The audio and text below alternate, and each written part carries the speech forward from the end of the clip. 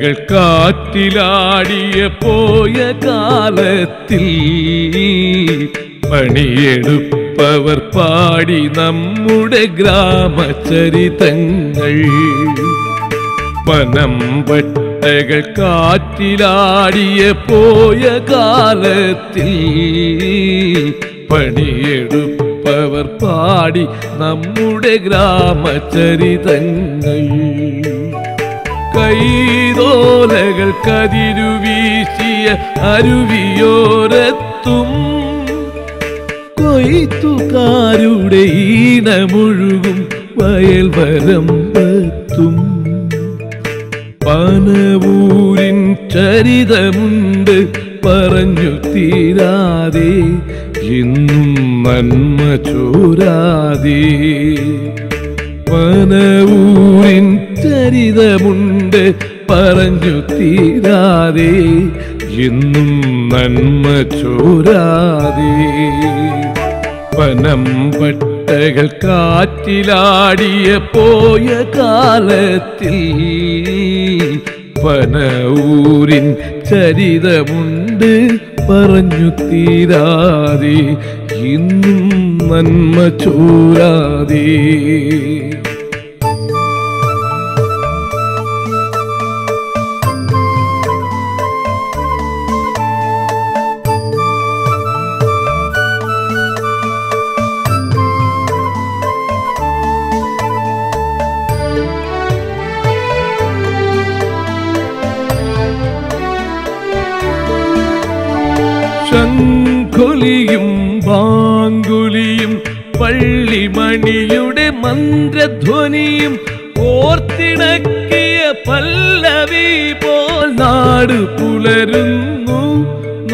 നാട്ടിൻ നന്മ പുലരുന്നു.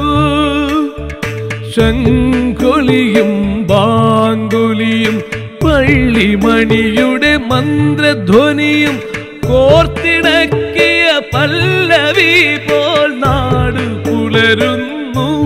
നാട്ടിൻ നന്മ പുലരുന്നു. ഇതു ധന്യമാം ഗ്രാമം ഇത് പുണ്യമാം ഗ്രാമം. ഇതു ധന്യമാം ഗ്രാമം ഇത് പുണ്യമാം ഗ്രാമം. പനമ്പട്ടകൾ കാറ്റിലാടിയ പോയ കാലത്തിൽ പനഊരിൻ ചരിതമുണ്ട് പറഞ്ഞു തീരാതെ ഇന്നും നന്മ ചോരാതെ.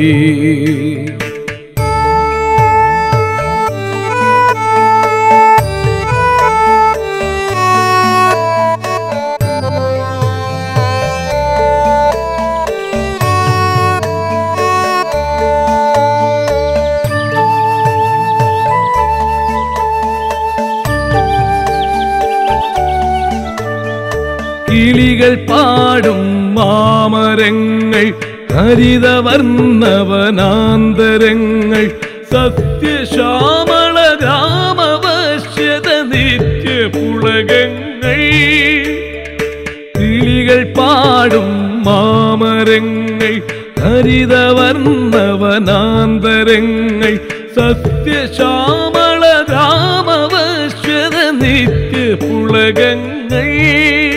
ഇതു ധന്യമാം ഗ്രാമം ഇത് പുണ്യമാം ഗ്രാമം ഇതു ധന്യമാം ഗ്രാമം ഇത് പുണ്യമാം ഗ്രാമം പനം പട്ടകൾ കാറ്റിലാടിയ പോയ കാലത്തിൽ പനഊരിൻ ചരിതമുണ്ട് പറഞ്ഞു തീരാതെ ഇന്നും നന്മ ചോരാതെ ഇന്നും നന്മ ചോരാതെ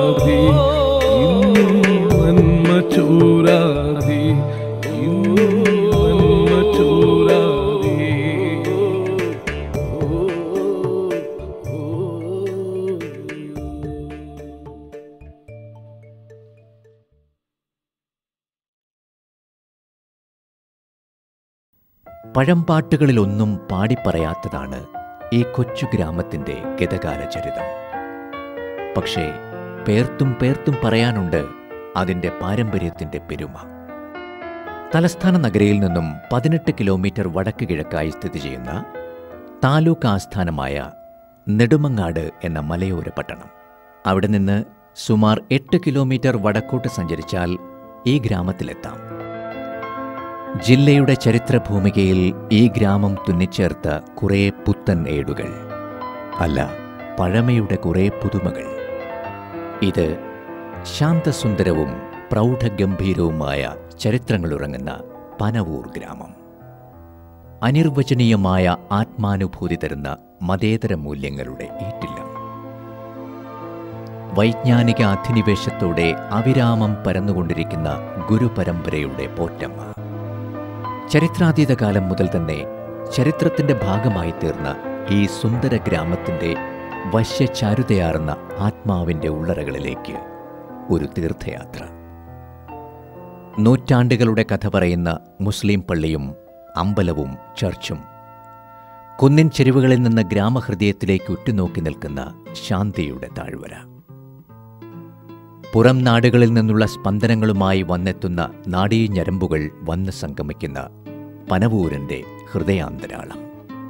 അനുദിനം വികസിച്ചുകൊണ്ടിരിക്കുന്ന മൈത്രിയുടെ സംഗമഭൂമി.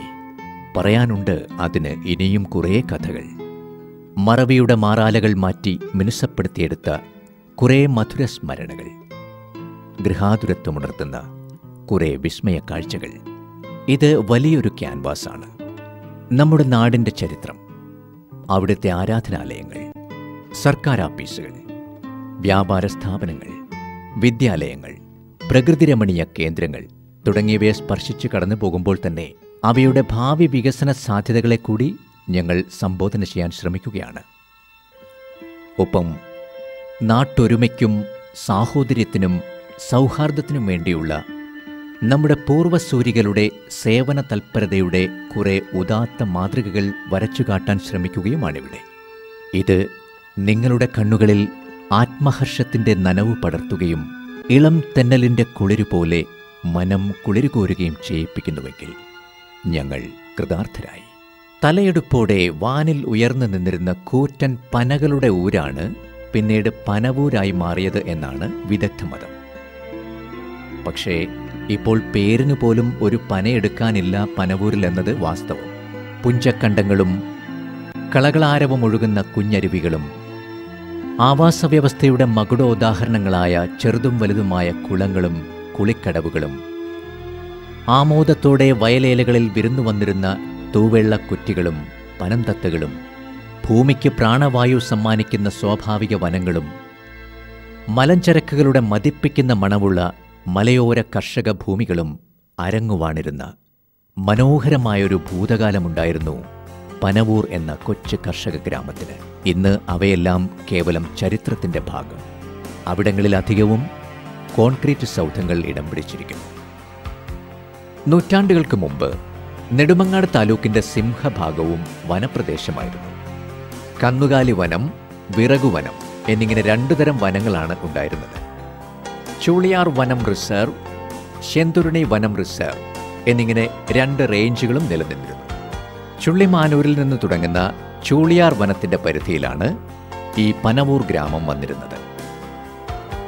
ഒരു നൂറ്റാണ്ടിനിപ്പുറമാണ് ഇവിടെ ജനവാസം വർദ്ധിച്ചത്.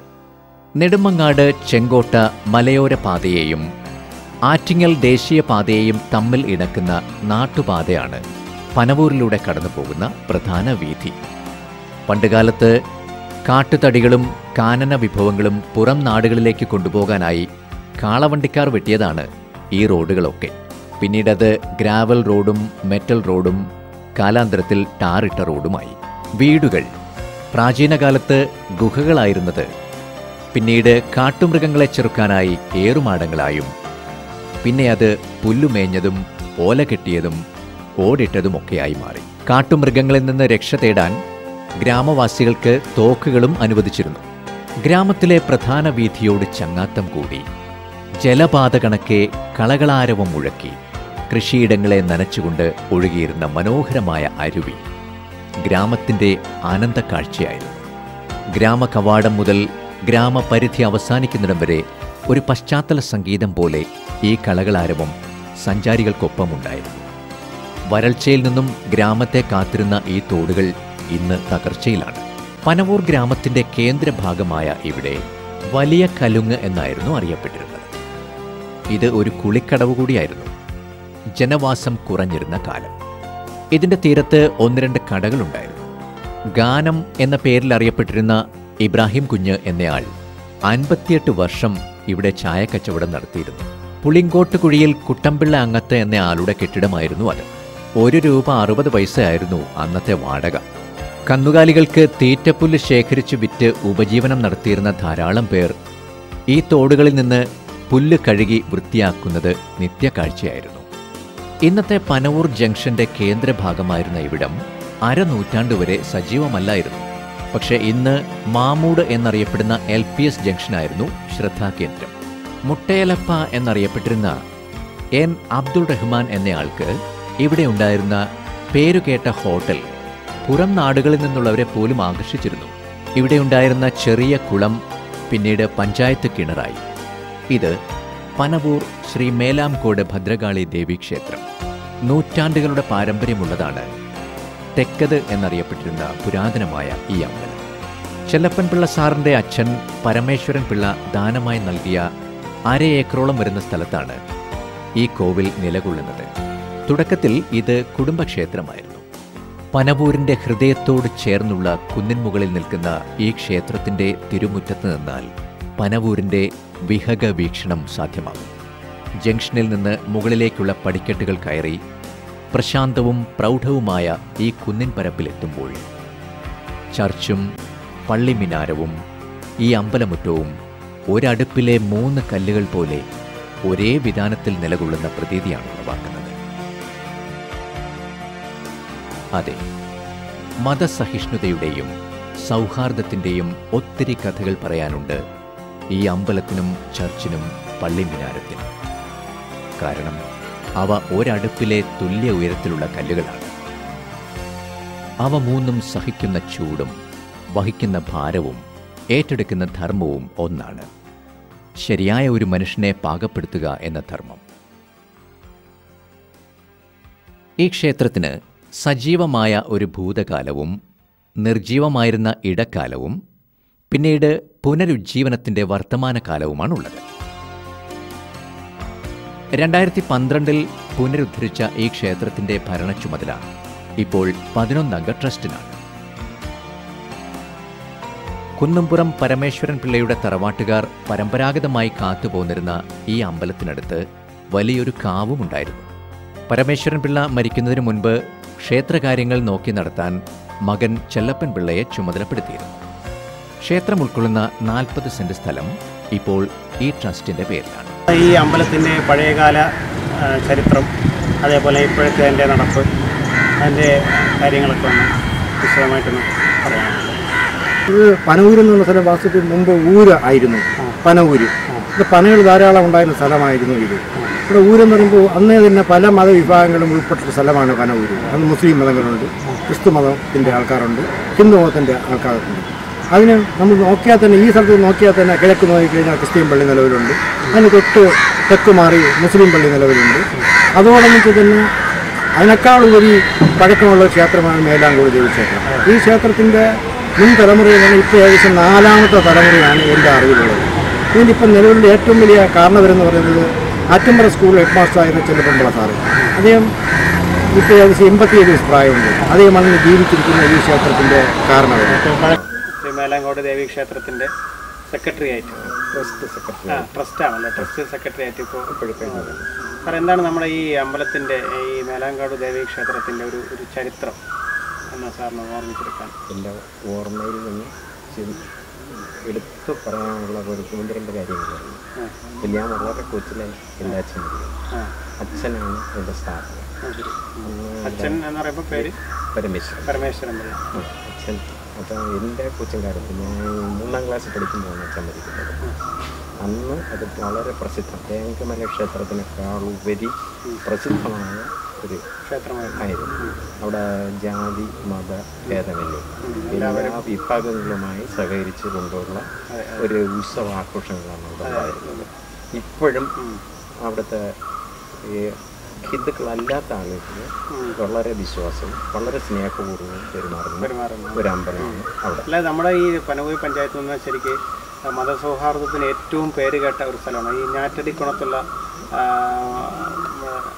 സ്ഥലം. കൊച്ചുനാരായണ കൊച്ചുനാരായണ പോലുള്ള ഒരുപാട് ആൾക്കാർ ഇവിടുത്തെ മതസൗഹാർദ്ദത്തിന്റെ അപ്പോസ്തലന്മാരായിരുന്നു നമുക്ക് പറയാം. എനിക്ക് ഒരു പേര് എന്റെ ഓർമ്മയിൽ നിന്ന് ഞാൻ ചിതഞ്ഞ് ചിതഞ്ഞെടുത്ത് പറയാം.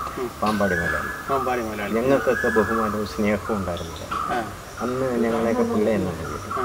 ഞങ്ങൾ എന്ത് കാര്യത്തിന് പോയാലും പിള്ളേ വരണമെന്ന് പറഞ്ഞ് ബുക്കുമെങ്കിൽ ഒരു ചായയും മാച്ച് ചെയ്തിരുന്ന ഒരു അന്ന് പ്രായം ഉണ്ടായിരുന്ന ഒരാളാണ് ഞങ്ങൾ വളരെ ബഹുമാനിക്കുന്ന ഒരു അന്നത്തെ ഒരു കാര്യം. അപ്പം ഞങ്ങളെയൊക്കെ കാരണവരായിരുന്നു അതെ അതെ ഞങ്ങളെ മനസ്സിലാക്കി തുടർന്ന് ഞാൻ ഞറ്റണിക്കുളത്ത് കൃഷ്ണപിള്ള എന്ന് പറയുന്ന അദ്ദേഹം ഇവിടുത്തെ മുസ്ലിം കമ്മ്യൂണിറ്റിയോട് വളരെ. കൊച്ചുനാരായണ സോറി കൊച്ചുനാരായണപിള്ള എന്ന് പറഞ്ഞ അദ്ദേഹം മുസ്ലിങ്ങളോട് വളരെ അറ്റാച്ച്മെന്റ് ഉള്ള ആളായിരുന്നു. അദ്ദേഹം മരിക്കുന്ന മരിക്കുന്ന സമയത്ത് പോലും അദ്ദേഹത്തിന് പെട്ടി കൂട്ടി അടക്കണം എന്നുവരെ വരെ അന്ന് അദ്ദേഹം ഒരു വസീയത്ത് ചെയ്തിട്ടുള്ളതായിട്ട് അറിയുന്നുണ്ട്. വസ്യത്തല്ല അങ്ങനെ ഒരു ആഗ്രഹം ഇവർ ഈ ഹിന്ദുക്കൾ മുസ്ലിങ്ങൾ ആയിരുന്നു അത് കൂടുതൽ എടുത്തു പറഞ്ഞത്.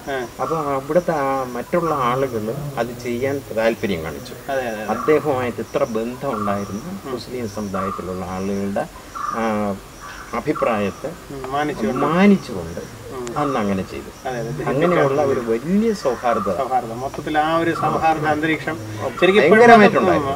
വലിയൊരു അറ്റാച്ച്മെന്റ് ഭയങ്കര അറ്റാച്ച്മെന്റ് ആണ്. പനവൂരിന്റെ കേന്ദ്ര ഭാഗത്ത് തന്നെയുള്ള ആറ് ഏക്കർ വരുന്ന ചർച്ച് വക കൃഷിഭൂമിയുടെ മുകളിലാണ് ചരിത്ര പ്രസിദ്ധമായ Panavoor C S I church നിലകൊള്ളുന്നത്.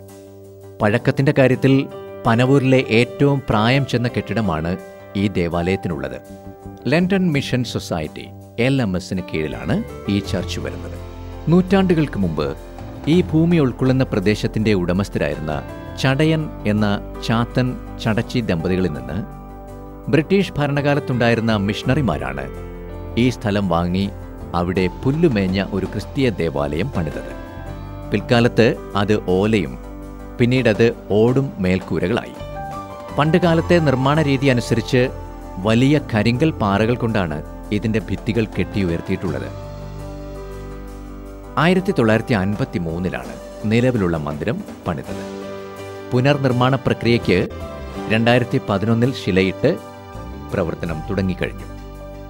ചർച്ചിന്റെ ഭാവി പ്രവർത്തനങ്ങളെപ്പറ്റി ഇപ്പോഴത്തെ പുരോഹിതൻ ശ്രീ ജോർജ് കുട്ടി. നമ്മുടെ ഈ പിന്നെ ചർച്ച് വളരെ പഴക്കം തന്നെ അതായത് നമുക്ക് കാണാൻ തുടങ്ങിയ കാലത്ത് ഇങ്ങനെ തന്നെ ഇരിക്കുകയാണ്.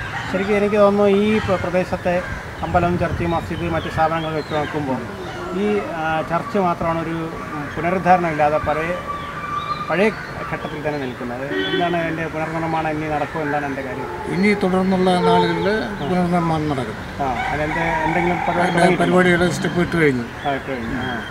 അപ്പോൾ അതേപോലെ നമ്മുടെ ഇത്രയും ഏക്കർ വരുന്ന സ്ഥലം ശരിക്കും ഈ ഗ്രാമത്തിന്റെ ഏറ്റവും ഹൃദയഭാഗത്ത് തന്നെ ഉണ്ടായിട്ട് എന്തെങ്കിലും വിദ്യാഭ്യാസ സ്ഥാപനമോ അല്ലെങ്കിൽ അതുപോലെ എന്തെങ്കിലും ഒരു കോളേജോ എന്തെങ്കിലും കോളേജ് വരാൻ സാധ്യതയുണ്ട്. ഉണ്ട്. സാധ്യതയേ ഉള്ളൂ. സാധ്യതയല്ല നൂറ് ശതമാനം വരാൻ വരും. വരും. പനവൂരിന്റെ പൗരാണിക ചരിത്രത്തിൽ വ്യക്തമായ വ്യക്തമായൊരിടമാണ് ഈ മസ്ജിദിനുള്ളത്. മുസ്ലിം ഭൂരിപക്ഷ പ്രദേശം എന്ന നിലയിൽ പനവൂർ എന്ന സ്ഥലത്തെ മസ്ജിദിനും അനുബന്ധ സ്ഥാപനങ്ങൾക്കും വലിയ പ്രാധാന്യമാണുള്ളത്. ഇരുന്നൂറ് വർഷങ്ങൾക്ക് മുമ്പ് പനവൂർ ജംഗ്ഷനിൽ നിന്ന് ഒരു വെളിപ്പാട് അകലെയായി. കതിരവന്റെ പൊൻകിരണങ്ങൾ പോലും കടന്നു ചെല്ലാൻ മടിച്ചു നിന്ന കൂരിരുട്ട് നിറഞ്ഞൊരു കൊടും കാട് വെട്ടിത്തെളിച്ച് പുല്ലുമേഞ്ഞൊരു പള്ളി പണിയുമ്പോൾ അറവേൽക്കുഴി സായു സാഹിബും തന്റെ സതീർത്ഥ്യരായ ചൊർണോട്ട് വരമ്പശ്ശേരിയിൽ സുൽത്താൻ പിള്ളയും തോന്നക്കൽ തിരുവടിക്കൽ വീട്ടിൽ കുഞ്ചാശാനും വരമ്പശ്ശേരി വീട്ടിൽ കൊച്ചുപിള്ള ലബ്ബയും ഈപ്പന്നമൂല അപ്പിക്കുഞ്ഞും കൊങ്ങണംകോട് സുൽത്താൻ പിള്ളയും വെമ്പായം മായം പോക്കരും ഒന്നും കരുതിയിട്ടുണ്ടാവില്ല. തങ്ങളുടെ കരങ്ങൾ പണിത ഒരു കുടിസുമുറിയും കുഞ്ഞു വരാന്തയും അടങ്ങിയ ഈ മൺവീട് ഒരു നാടിന്റെ സംസ്കാരത്തെ തന്നെ നിർണയിക്കുന്ന ഒരു രമ്യഹർമ്മ്യമാവുമെന്ന് കാൽ നൂറ്റാണ്ട് കാലം പുല്ലുമേഞ്ഞ ആ പള്ളി തന്റെ നാഥനെ വണങ്ങുന്നതിന് വിശ്വാസ സമൂഹത്തിന് കൂട്ടായിട്ടുണ്ടായിരുന്നു. പക്ഷേ ഇരുൾമുറ്റി നിന്ന ഒരു പാതിരാ നേരത്തുണ്ടായ തീപിടുത്തം അതിന്റെ മേൽക്കൂരയെ പറ്റേ നശിപ്പിച്ചു കളഞ്ഞു. തുടർന്ന് ഓലമേഞ്ഞൊരു പുതിയ പള്ളി അവിടെ പുനർനിർമ്മിക്കപ്പെട്ടു. കാലക്രമത്തിൽ നാടിനും നാട്ടാർക്കുമുണ്ടായ വികസനത്തിനനുസരിച്ച് പിന്നെ ആ ഓലക്കെട്ടിടം ഓടിന് വഴിമാറി. പിൽക്കാലത്ത് കാലപ്പഴക്കവും സ്ഥലപരിമിതിയും കാരണം ആ ഓടിട്ട കെട്ടിടം പൂർണമായും പൊളിച്ചു മാറ്റി അവിടെ അന്നത്തെ ഇരുപത്തിയൊന്ന് ലക്ഷം രൂപ ചെലവിട്ടാണ് ഇന്ന് നിലവിലുള്ള പള്ളി പുനർനിർമ്മിച്ചത്. ആയിരത്തി തൊള്ളായിരത്തി തൊണ്ണൂറ്റി ഒൻപത് സെപ്റ്റംബർ പത്തൊൻപതിനാണ് അത് ഉദ്ഘാടനം ചെയ്യപ്പെട്ടത്. പള്ളിയുടെ നാളിതുവരെയുള്ള പരിണാമ പ്രക്രിയയുടെ നാൾവഴികളിൽ പേരെടുത്തു പറയേണ്ട കുറേ പൂർവസൂരികളുണ്ട്. അവരിൽ ചിലർ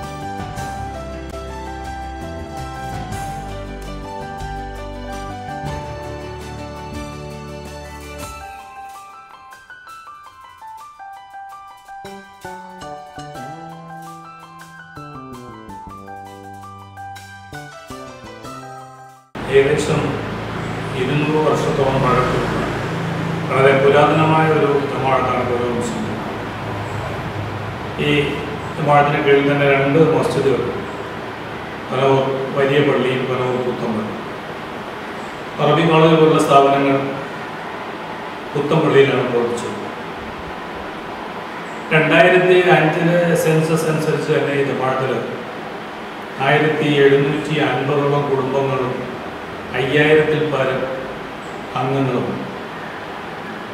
ഈ ജമാഅത്തിന് കീഴിൽ ഏകദേശം ഇരുപത്തി ഒന്നോളം സ്ഥാപനങ്ങൾ പ്രവർത്തിച്ചു. ഇരുന്നൂറിലധികം കുട്ടികൾ പഠിക്കുന്ന ഒരു English medium public school Islamic cultural centre അടങ്ങുന്ന എച്ച് ഐ ഓഡിറ്റോറിയം മുപ്പത്തിയഞ്ചോളം വിദ്യാർത്ഥികൾ താമസിച്ച് അറബിക് പഠനവും ഭൗതിക വിദ്യാഭ്യാസവും നടത്തുന്ന അറബിക് കോളേജ് എന്നിവ ഇതിലെടുത്തു പറയുന്ന സ്ഥാപനം ഈ പ്രദേശത്തിന്റെ മറ്റൊരു പ്രത്യേകത ക്ഷേത്രവും ചർച്ചും മസ്ജിദും എല്ലാം തൊട്ടുതിരിഞ്ഞ് നിൽക്കുന്ന വളരെ സൗഹൃദപരമായി പ്രവർത്തിക്കുന്ന ഒരു പ്രദേശമാണ്. ഇതെല്ലാം ഈ ജംഗ്ഷൻ കേന്ദ്രീകരിച്ച് തന്നെ മസ്ജിദും ചർച്ചും ക്ഷേത്രവും ഒക്കെ പ്രവർത്തിക്കുന്നുണ്ട്. അതൊക്കെ തന്നെ വളരെ ഐക്യത്തോടെ മതസൗഹാർദ്ദത്തോടെ സന്തോഷത്തോടെ ആളുകൾ കഴിഞ്ഞുകൊണ്ടുള്ള ഒരു പ്രത്യേകതയുള്ള പ്രദേശം കാരണം നമ്മൾ ഈ ജമാഅത്തിന് വേണ്ടി ഇരുപത്തിയൊന്ന് സ്ഥാപനങ്ങളുണ്ടെന്ന് പറഞ്ഞില്ല. അപ്പോൾ അത് ഇരുപത്തിയൊന്ന് സ്ഥാപനങ്ങൾ എന്ന് പറയുന്നത് നമ്മുടെ ഈ ജമാഅത്തിന്റെ ബ്രാഞ്ചുകൾ കൂടി ഉൾപ്പെട്ടതാണ് അതെ ജമാഅത്തിന് ജമാഅത്തിന് ഒൻപത് ബ്രാഞ്ച് തക്കാവൂർ. ആ തക്കാവൂരിൽ ഉള്ള സ്ഥാപനങ്ങളാണ്. അതിലാണ് നമ്മളെ എച്ച് ഇംഗ്ലീഷ് മീഡിയം സ്കൂളൊക്കെ വരുന്നത് എച്ച് ഇംഗ്ലീഷ് മീഡിയം സ്കൂളിന്റെ അനുബന്ധമായിട്ടുള്ള സ്ഥാപനം അപ്പോൾ ജമാഅത്തിന്റെ കീഴിൽ തന്നെ ജമാഅത്തിന് കീഴിൽ പ്രവർത്തിക്കുന്ന സ്ഥാപനം ആ, ഈ സ്കൂളൊക്കെ എങ്ങനെയാണ് സാറേ പോകുന്നത് എങ്ങനെ അതിന്റെ സ്കൂൾ നമ്മുടെ ഈ പ്രദേശത്തിന്റെ സാംസ്കാരികമായ ഉന്നമനം മാത്രം ലക്ഷ്യമാക്കി ജമാഅത്ത് സ്കൂളാണെങ്കിൽ പോലും അതിന്റെ സാംസ്കാരികമായ നാട്ടിലെ സാംസ്കാരികമായ ഉന്നമനം ലക്ഷ്യമാക്കി പ്രവർത്തിക്കുന്ന സ്കൂൾ. ഇതിന്റെ ആദായമൊക്കെ ജമാഅത്തിലേക്കാണ് വരുന്നത് ഒരു എങ്ങനെയാണ് സ്കൂൾ. ജമാഅത്തിന്റെ ആദായമാണ് ജമാഅത്തിലേക്കാണ് വരുന്നത് ഇപ്പോഴെങ്ങനെ ഒരു ആദായം ഉണ്ടെങ്കിൽ അപ്പോൾ പറയാമോ അതുകൊണ്ട് നമുക്ക് ജമാഅത്തിൽ നിന്ന് പ്രാഥമികമായ കുറച്ച് ചെലവുകൾക്ക് എടുത്തിട്ടുള്ള പൈസ എല്ലാം നമ്മൾ ജമാഅത്തിലേക്ക് തിരിച്ചടയ്ക്കുന്നുണ്ട് ഏകദേശം ഒരു ലക്ഷത്തി അറുപത്തി അയ്യായിരത്തോളം രൂപ ഈ ഒരു കഴിഞ്ഞ ഒരു വർഷം തന്നെ ആ. വർഷാവസാനത്തിൽ ജമാഅത്തിലേക്ക് തിരിച്ചടച്ചു ആ, ചുറ്റും. ആ. ഏകദേശം ഇരുന്നൂറോളം കുട്ടികൾ ഇനിയിപ്പോൾ അംഗീകാരമായി ബന്ധപ്പെട്ട കാര്യങ്ങൾ ബന്ധപ്പെട്ട കാര്യങ്ങൾ ശ്രമിച്ചു പനവൂരിന്റെ തെക്കും വടക്കും രണ്ട് മുസ്ലിം പള്ളികളാണുള്ളത് അതിൽ തെക്കുള്ള പള്ളിയുടെ ചരിത്രമാണ് പറഞ്ഞു വന്നത് ജംഗ്ഷനിൽ നിന്ന് ഇരുന്നൂറ് മീറ്റർ അകലെ വടക്കു ഭാഗത്തായി മസ്ജിദിന്റെ വക നാലേക്കർ മുപ്പത്തിയെട്ട് സെന്റ് വരുന്ന ഒരു റബ്ബർ എസ്റ്റേറ്റ് ഉണ്ട് റോഡും ഇടവഴികളും ചേലാഞ്ചലം ചുറ്റിയിരിക്കുന്ന മനോഹരമായ ഒരു ചെറിയ കുന്നിൻ പ്രദേശം. ആ കുന്നിൻ മുകളിൽ ഏകാഗിയായി നിൽപ്പുണ്ട് പനവൂർ പുത്തൻ പള്ളി. അതിന്റെ കഥ പറയാം. ആയിരത്തി തൊള്ളായിരത്തി പതിനെട്ടിലായിരുന്നു അത് സംഭവിച്ചത്. മറ്റൊന്നുമല്ല മനുഷ്യ സഹജമായ ചില അഭിപ്രായ ഭിന്നതകൾ. ഒരു തെക്ക് വടക്ക് കശപിശ വാദകോലാഹലങ്ങൾ അനുദിനം വഷളായി വന്നു. ഒടുവിൽ അത് സംഭവിച്ചു. അവർ രണ്ടായി വഴിപിരിഞ്ഞു. പക്ഷേ പിരിഞ്ഞെങ്കിലും അവർ പള്ളി പൊളിച്ചില്ല. മറിച്ച് പുതിയൊരു പള്ളി വെച്ചു. കൊട്ടറ സയ്യിദ് മുഹമ്മദ് പിള്ള പുന്നലത്ത് മൈദീൻ കുഞ്ഞ് ചട്ടമ്പി ഓച്ചിറ അലിയാർ കുഞ്ഞ് ആറ്റിൻപുറം പുത്തൻ വീട്ടിൽ അബ്ദുൾ റഹ്മാൻ പുല്ലാമല അഹമ്മദ് പിള്ള ലബ്ബ മലയടി അമീൻ പിള്ള താഴെ കീഴാറ്റിൻപുറം കുഞ്ചാശാൻ തുടങ്ങിയവർക്കായിരുന്നു അതിന്റെ നേതൃത്വം. എന്നാൽ ഏതാനും മാസങ്ങൾക്കകം തന്നെ പണ്ഡിതോപദേശം മാനിച്ചുകൊണ്ട് അവരുടെ ഖണ്ഡന മണ്ഡനങ്ങൾ അവസാനിപ്പിച്ച് ഒന്നാവുകയായിരുന്നു അവർ. പിന്നീട് ഒന്നിടവിട്ടുള്ള വെള്ളിയാഴ്ചകൾ ജുമാ നമസ്കാരങ്ങൾ പുത്തൻപള്ളിയും പഴയ പള്ളിയും പങ്കിട്ടു. ആയിരത്തി തൊള്ളായിരത്തി തൊണ്ണൂറ്റി ഒൻപതിൽ പഴയ ഓടിട്ട പുത്തൻപള്ളി പൊളിച്ചുമാറ്റി തൽസ്ഥാനത്ത് ആയിരത്തി തൊള്ളായിരത്തി തൊണ്ണൂറ്റിയാറ് ഓഗസ്റ്റ് ഒൻപതിനാണ് ഇന്ന് നിലവിലുള്ള പള്ളി ഉദ്ഘാടനം ചെയ്യപ്പെട്ടത്. നാടിന്റെ ഇളം തലമുറയ്ക്ക് മതവിധികളും മാനുഷിക മൂല്യങ്ങളും മനസ്സിലാക്കി കൊടുക്കുന്നതിന് മസ്ജിദിന്റെ കീഴിൽ മഹത്തായ മദ്രസ സംവിധാനം മഹാപണ്ഡിതന്മാരാൽ നടത്തിപ്പോന്നിരുന്നു. മലബാറിന്റെ മണ്ണിൽ നിന്ന് എത്തിച്ചേർന്ന അബ്ദുൾ റഹ്മാൻ മുസ്ലിയാർ എന്ന വലിയ മുസ്ലിയാരും ശേഷം യു മമ്മുണ്ണി മുസ്ലിയാർ എന്ന തദ്ദേശീയനായ കൊച്ചു മുസ്ലിയാരും ഈ രംഗത്തെ ഗുരുക്കന്മാരിൽ അതികായന്മാരാണ് ആയിരത്തി തൊള്ളായിരത്തി നാൽപ്പത്തി ആറുകളിലെ ഒരു വെള്ളിയാഴ്ച ദിവസം ഇവിടെ എത്തിയ വാമനപുരം എ മുഹമ്മദ് കുഞ്ഞു മൗലവി മദ്രസ വിദ്യാഭ്യാസത്തിന്റെ ഉപരിപഠനമെന്ന നിലയിൽ സ്വദേശീയരെയും പരദേശീയരെയും ഉൾക്കൊള്ളിച്ചുകൊണ്ടുള്ള ഒരു മലബാർ മോഡൽ പള്ളി ദർസിന്റെ ആവശ്യകതയെപ്പറ്റി സംസാരിക്കുകയും അനന്തരം അത് യാഥാർത്ഥ്യമാവുകയും ചെയ്തു. അദ്ദേഹം തന്നെയായിരുന്നു ആദ്യ മുദർഡിസ് പ്രതിഫലം പറ്റാതെ ആദ്യകാലങ്ങളിൽ അദ്ദേഹം ഈ രംഗത്ത് സേവനം ചെയ്തു. തുടർന്ന് എട്ട് കൊല്ലങ്ങൾക്ക് ശേഷം അദ്ദേഹത്തിന്റെ പിൻഗാമികളായി നെയ്യാറ്റിൻകര അബൂബക്കർ മൗലവി തിരുവല്ലം ഇബ്രാഹിം കുട്ടി മൗലവി നാദാപുരം സി എച്ച് ഷീറാസി മൗലവി തുടങ്ങിയവർ വന്നു. ഷീറാസി മൗലവിയുടെ കാലത്താണ് ഈ പള്ളി ദർശന് ഹിദായത്തുൽ ഇസ്ലാം അറബിക് കോളേജ് എന്ന നാമകരണം സിദ്ധിച്ചത്. കെ എം അബ്ദുൽ കരീം മൗലവി പുലിപ്പാറ സുലൈമാൻ മൗലവി എന്നിവരുടെ കാലവും ഈ രംഗത്ത് എടുത്തു പറയപ്പെടേണ്ടതാണ്. കേരളീയ ഇസ്ലാമിക പുരാവൃത്തത്തിന്റെ ഗ്രാഫിൽ പനവൂരിന്റെ സ്ഥാനം ഉച്ചസ്ഥായിയിലാക്കി ഈ സ്ഥാപനം. അങ്ങനെ തെക്കൻ കേരളത്തിലെ പൊന്നാനി എന്ന അപരനാമവും പനവൂരിന് വീണ് കിട്ടി. തെക്കൻ കേരളത്തിലെ മുസ്ലിം നേതൃത്വത്തിലുള്ള തൊടിയൂർ മുഹമ്മദ് കുഞ്ഞ് മൗലവി ഉൾപ്പെട്ട പല പ്രമുഖരും ഇവിടെയാണ് പഠിച്ചത്. കേരളത്തിലെന്നല്ല ഇന്ത്യയിലെ തന്നെ ഗ്രാമങ്ങളിൽ ഏറ്റവും അധികം മുസ്ലിയാക്കന്മാരും മൗലവിമാരും ആലിമങ്ങളായ ഉദ്യോഗസ്ഥന്മാരുമുള്ളത് ഒരുപക്ഷെ പനവൂരിലായിരിക്കും. ഇവിടെ ഒരു കുടുംബത്തിൽ കുറഞ്ഞത് ഒരു മൗലവിയെങ്കിലും ഉണ്ടാകും. അതിലേറെ വിസ്മയകരമാണ് നാട്ടിലെ അധ്യാപക സമ്പത്ത്. ഒരു കണക്ക് പ്രകാരം ഈ ഗ്രാമത്തിൽ വിരമിച്ചവരും സർവീസിലുള്ളവരുമായി ജീവിച്ചിരിപ്പുള്ള അൻപതിലധികം അധ്യാപകരുണ്ട്. അതിൽ തന്നെ അറബി അധ്യാപകരുടെ എണ്ണവും റെക്കോർഡാണ്. അതിന് കാരണമായി വർദ്ധിച്ചത് ഈ അറബി കോളേജാണ്. ഒരു കാലത്ത് അറബി മുൻഷി പരീക്ഷ എഴുതുന്നതിന് മാത്രം പ്രത്യേകം പരിശീലന ക്ലാസുകൾ ഇവിടെ നടന്നിരുന്നു. പനവൂർ മുസ്ലിം ജമാഅത്തിന്റെ കീഴിലുള്ള പ്രമുഖ സ്ഥാപനമാണ് എച്ച് ഐ ഓഡിറ്റോറിയം സർവ സൗകര്യങ്ങളോടെയുമുള്ള പനവൂരിലെ ഏക കല്യാണ മണ്ഡപം. കേരള വഖഫ് ബോർഡിൽ നിന്ന് വായ്പയെടുത്താണ് ഇത് നിർമ്മിച്ചിട്ടുള്ളത്. രണ്ടായിരത്തി രണ്ട് സെപ്റ്റംബർ പതിമൂന്നാം തീയതിയാണ് ഇത് ഉദ്ഘാടനം ചെയ്യപ്പെട്ടത്.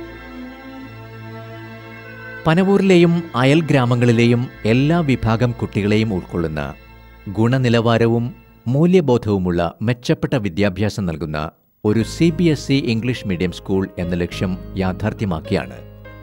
പനവൂർ മുസ്ലിം ജമാഅത്ത് മുൻകൈയെടുത്ത് പള്ളിവക സ്ഥലത്ത് H I English medium public school എന്ന പേരിൽ ഒരു വിദ്യാലയം തുറന്നത്. രണ്ടായിരത്തി അഞ്ച് മെയ് മുപ്പത്തിയൊന്നാം തീയതി അന്നത്തെ സാമൂഹ്യക്ഷേമ വകുപ്പ് മന്ത്രി ശ്രീ വി കെ ഇബ്രാഹിം കുഞ്ഞാണ് ഇത് ഉദ്ഘാടനം ചെയ്തത്. കാലാകാലങ്ങളിൽ വരുന്ന ജമാഅത്ത് കമ്മിറ്റി പ്രസിഡന്റ് അടങ്ങുന്ന ജമാഅത്ത് ട്രസ്റ്റിനാണ് സ്കൂളിന്റെ മേൽനോട്ടം.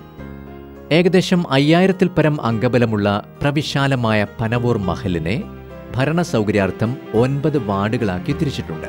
വിശ്വാസികൾക്ക് ആരാധനാ സൗകര്യത്തിനും കുട്ടികളുടെ സുഗമമായ മതവിദ്യാഭ്യാസത്തിനും വേണ്ടി ആറ്റിൻപുറം കൊങ്ങണംകോട് കല്ലിയോട് മൂഴി കരിക്കുഴി വെള്ളംകുടി മുളമൂട് തുടങ്ങി ഒൻപതിടങ്ങളിൽ ബ്രാഞ്ച് തൈക്കാവുകളുണ്ട്. ജമാഅത്തിന്റെ ഗ്രാൻഡോടെ പ്രവർത്തിപ്പിക്കുന്ന ഇതിൽ പലതും പതിറ്റാണ്ടുകൾ പഴക്കമുള്ളതും സമീപകാലത്ത് പുനർനിർമ്മിക്കപ്പെട്ടവയുമാണ്. ഇത് പനവൂർ മുസ്ലിം ജമാഅത്തിന്റെ അഭിമാനമായ സൂപ്രണ്ട് എന്ന സ്ഥാനപ്പേരിൽ അറിയപ്പെടുന്ന മുഹമ്മദ് ഹനീഫ. സുദീർഘമായ കാലത്തെ പള്ളി പരിപാലനത്തിന്റെ ഉദാത്തമായ മാതൃക. അനുഭവജ്ഞാനത്തിന്റെയും കഠിനാധ്വാനത്തിന്റെയും ആത്മാർത്ഥതയുടെയും ആൾരൂപം പള്ളിവക സാധനങ്ങളും കൃഷിയിടങ്ങളും ഇദ്ദേഹത്തിന്റെ കരങ്ങളിൽ ഭദ്രം. സ്വന്തം പുരയിടത്തിൽ കാർഷിക വിളകൾ സംരക്ഷിക്കുന്നതിനേക്കാൾ കൂടുതൽ ജാഗരൂകമായാണ് പള്ളിവക കൃഷിയിടം ഇദ്ദേഹം നോക്കുന്നത്. പള്ളി കാര്യങ്ങളിലെ ഈ ഓൾറൗണ്ടറെ പാമ്പാടി ഹാജി മുഹമ്മദ് കുഞ്ഞ് എന്ന പാമ്പാടി മുതലാളിയാണ് ആദ്യമായി സൂപ്രണ്ട് എന്ന് പേര് വിളിച്ചത്. തികച്ചും ആ പേരിന് അദ്ദേഹം അർഹനാണ് താനും. ഷിറാസി ഉസ്താദിന്റെ കാലം മുതൽ നാടിന്റെയും മസ്ജിദിന്റെയും ഇതിവൃത്തം ഇദ്ദേഹത്തിന് മനപ്പാഠമാണ്. പുല്ലാമലയുള്ള ഈ മസ്ജിദ് പണ്ടുകാലത്ത് പനവൂരിൽ നിന്ന് സൗകര്യാർത്ഥം വിഭജിക്കപ്പെട്ടതാണ്. ഈ പള്ളിയുടെ ബ്രാഞ്ചാണ് വെള്ളാഞ്ചിറയുള്ള ഈ തൈക്കാവ്. ഗംഗാധരൻ നായർ എന്നയാൾ സൗജന്യമായി നൽകിയ ഭൂമിയിലാണ് ഈ തൈക്കാവ് ഇരിക്കുന്നത് എന്നത് ഉദാത്തമായ മതസഹിഷ്ണുതയുടെ ജീവിച്ചിരിക്കുന്ന ഉദാഹരണമാണ്. കൊക്കിലായ സ്വാമിമാരുമായി ബന്ധമുള്ള കരമനയുള്ളൊരു പട്ടര് ആറ്റിൻപുറത്ത് വന്ന് ഒരു ഗ്രാൻഡഡ് എൽ പി സ്കൂൾ തുടങ്ങി. ഒന്ന് മുതൽ മൂന്ന് വരെയുള്ള ക്ലാസ്സുകളുള്ള സ്കൂൾ. അതായിരുന്നു ഇന്നത്തെ പനവൂർ എൽ പി എസിന്റെ പൂർവികനായ ആറ്റിൻപുറം എൽ പി എസ്. അന്ന് കൊച്ചുകോണത്ത് വീട്ടിൽ കെ മാധവൻ പിള്ള സാർ അവിടെ പ്രധാന അധ്യാപകനായിരുന്നു. കുറച്ച് വർഷങ്ങൾക്ക് ശേഷം പട്ടർ സ്ഥലത്തില്ലാതിരുന്ന ഒരു ചെറിയ കാലയളവിലാക്കാക്കി മാധവൻപിള്ള സാറിന്റെ നേതൃത്വത്തിൽ രായ്ക്ക് രാമാനം സ്കൂൾ പൊളിച്ച് ഒന്ന് രണ്ട് കാളവണ്ടികളിൽ കയറ്റി പനവൂരിലേക്ക് കൊണ്ടുപോന്നു. ക്ലാസ്സുകൾ കുറേ കാലം ഇന്നത്തെ വെള്ളാഞ്ചിറയ്ക്കടുത്തുള്ള കളിയിൽ വീട്ടിൽ വെച്ച് നടന്നു. സ്കൂൾ പൊളിച്ച് സ്ഥലം മാറ്റിയതുമായി ബന്ധപ്പെട്ട് കേസും വഴക്കുമായി കുറേ നാളുകൾ. ഉള്ളൂർ എസ് പരമേശ്വര അയ്യർ ഡിവിഷൻ ബഹിഷ്കാറായിരുന്ന കാലം മാധവൻപിള്ള എന്ന ആ കുശാഗ്ര ബുദ്ധിക്കാരൻ തന്റെ സർവസ്വാധീനവും തന്ത്രങ്ങളും പയറ്റി തന്റെ ഭാഗം വിജയിപ്പിച്ചെടുത്തു. തുടർന്ന് പനവൂരിലുള്ള തന്റെ ഇരുപത് സെന്റ് സ്ഥലത്ത് ഇരുപതടി വരുന്ന ഒരു ഓല ഷെഡ് കെട്ടി സ്കൂൾ അതിൽ പ്രവർത്തിപ്പിച്ചു. പിന്നീട് ഈ വസ്തുവോട് ചേർന്ന് ഫയൽവാൻ ശങ്കരപ്പിള്ള എന്നയാൾക്കുണ്ടായിരുന്ന അൻപത് സെന്റ് പുരയിടം കൂടി വാങ്ങി അത് വിപുലപ്പെടുത്തി. മാധവൻപിള്ളയുടെ പത്നി ഭാർഗവിയമ്മ പ്രഥമ അധ്യാപികയുമായി സ്വാതന്ത്ര്യാനന്തര ഇന്ത്യ. സർ സി പി രാമസ്വാമിയുടെ ഭരണകാലം. മാനേജ്മെന്റ് സ്കൂളുകളെ അവരുടെ സമ്മതപ്രകാരം സർക്കാർ ഏറ്റെടുക്കാനുള്ള ഉത്തരവിറങ്ങി. തദടിസ്ഥാനത്തിൽ ഒരു ചക്രം പ്രതിഫലം വാങ്ങിക്കൊണ്ട് ഈ സ്കൂൾ ഗവൺമെന്റിന് വിട്ടുകൊടുത്തു. നാല് രൂപ പ്രതിഫലം വാങ്ങിയിരുന്ന അധ്യാപകർ പിന്നെ സർക്കാർ അധ്യാപകരായി. തുടക്കത്തിൽ മൂന്നാം ക്ലാസ് വരെ ആയിരുന്നു. എന്നാൽ ഒരു കാലത്ത് അഞ്ചാം ക്ലാസ് വരെ പഠനം നടന്നിരുന്നു. ആയിരം വിദ്യാർത്ഥികൾ വരെ ഇവിടെ വിദ്യ അഭ്യസിച്ചിരുന്ന ഒരു കാലവും കടന്നു പോയിട്ടുണ്ട്. അന്ന് ഷിഫ്റ്റ് സമ്പ്രദായമായിരുന്നു നിലനിന്നിരുന്നത്. ആയിരത്തി തൊള്ളായിരത്തി എൺപതിലാണ് ഇത് മാറ്റിയത്.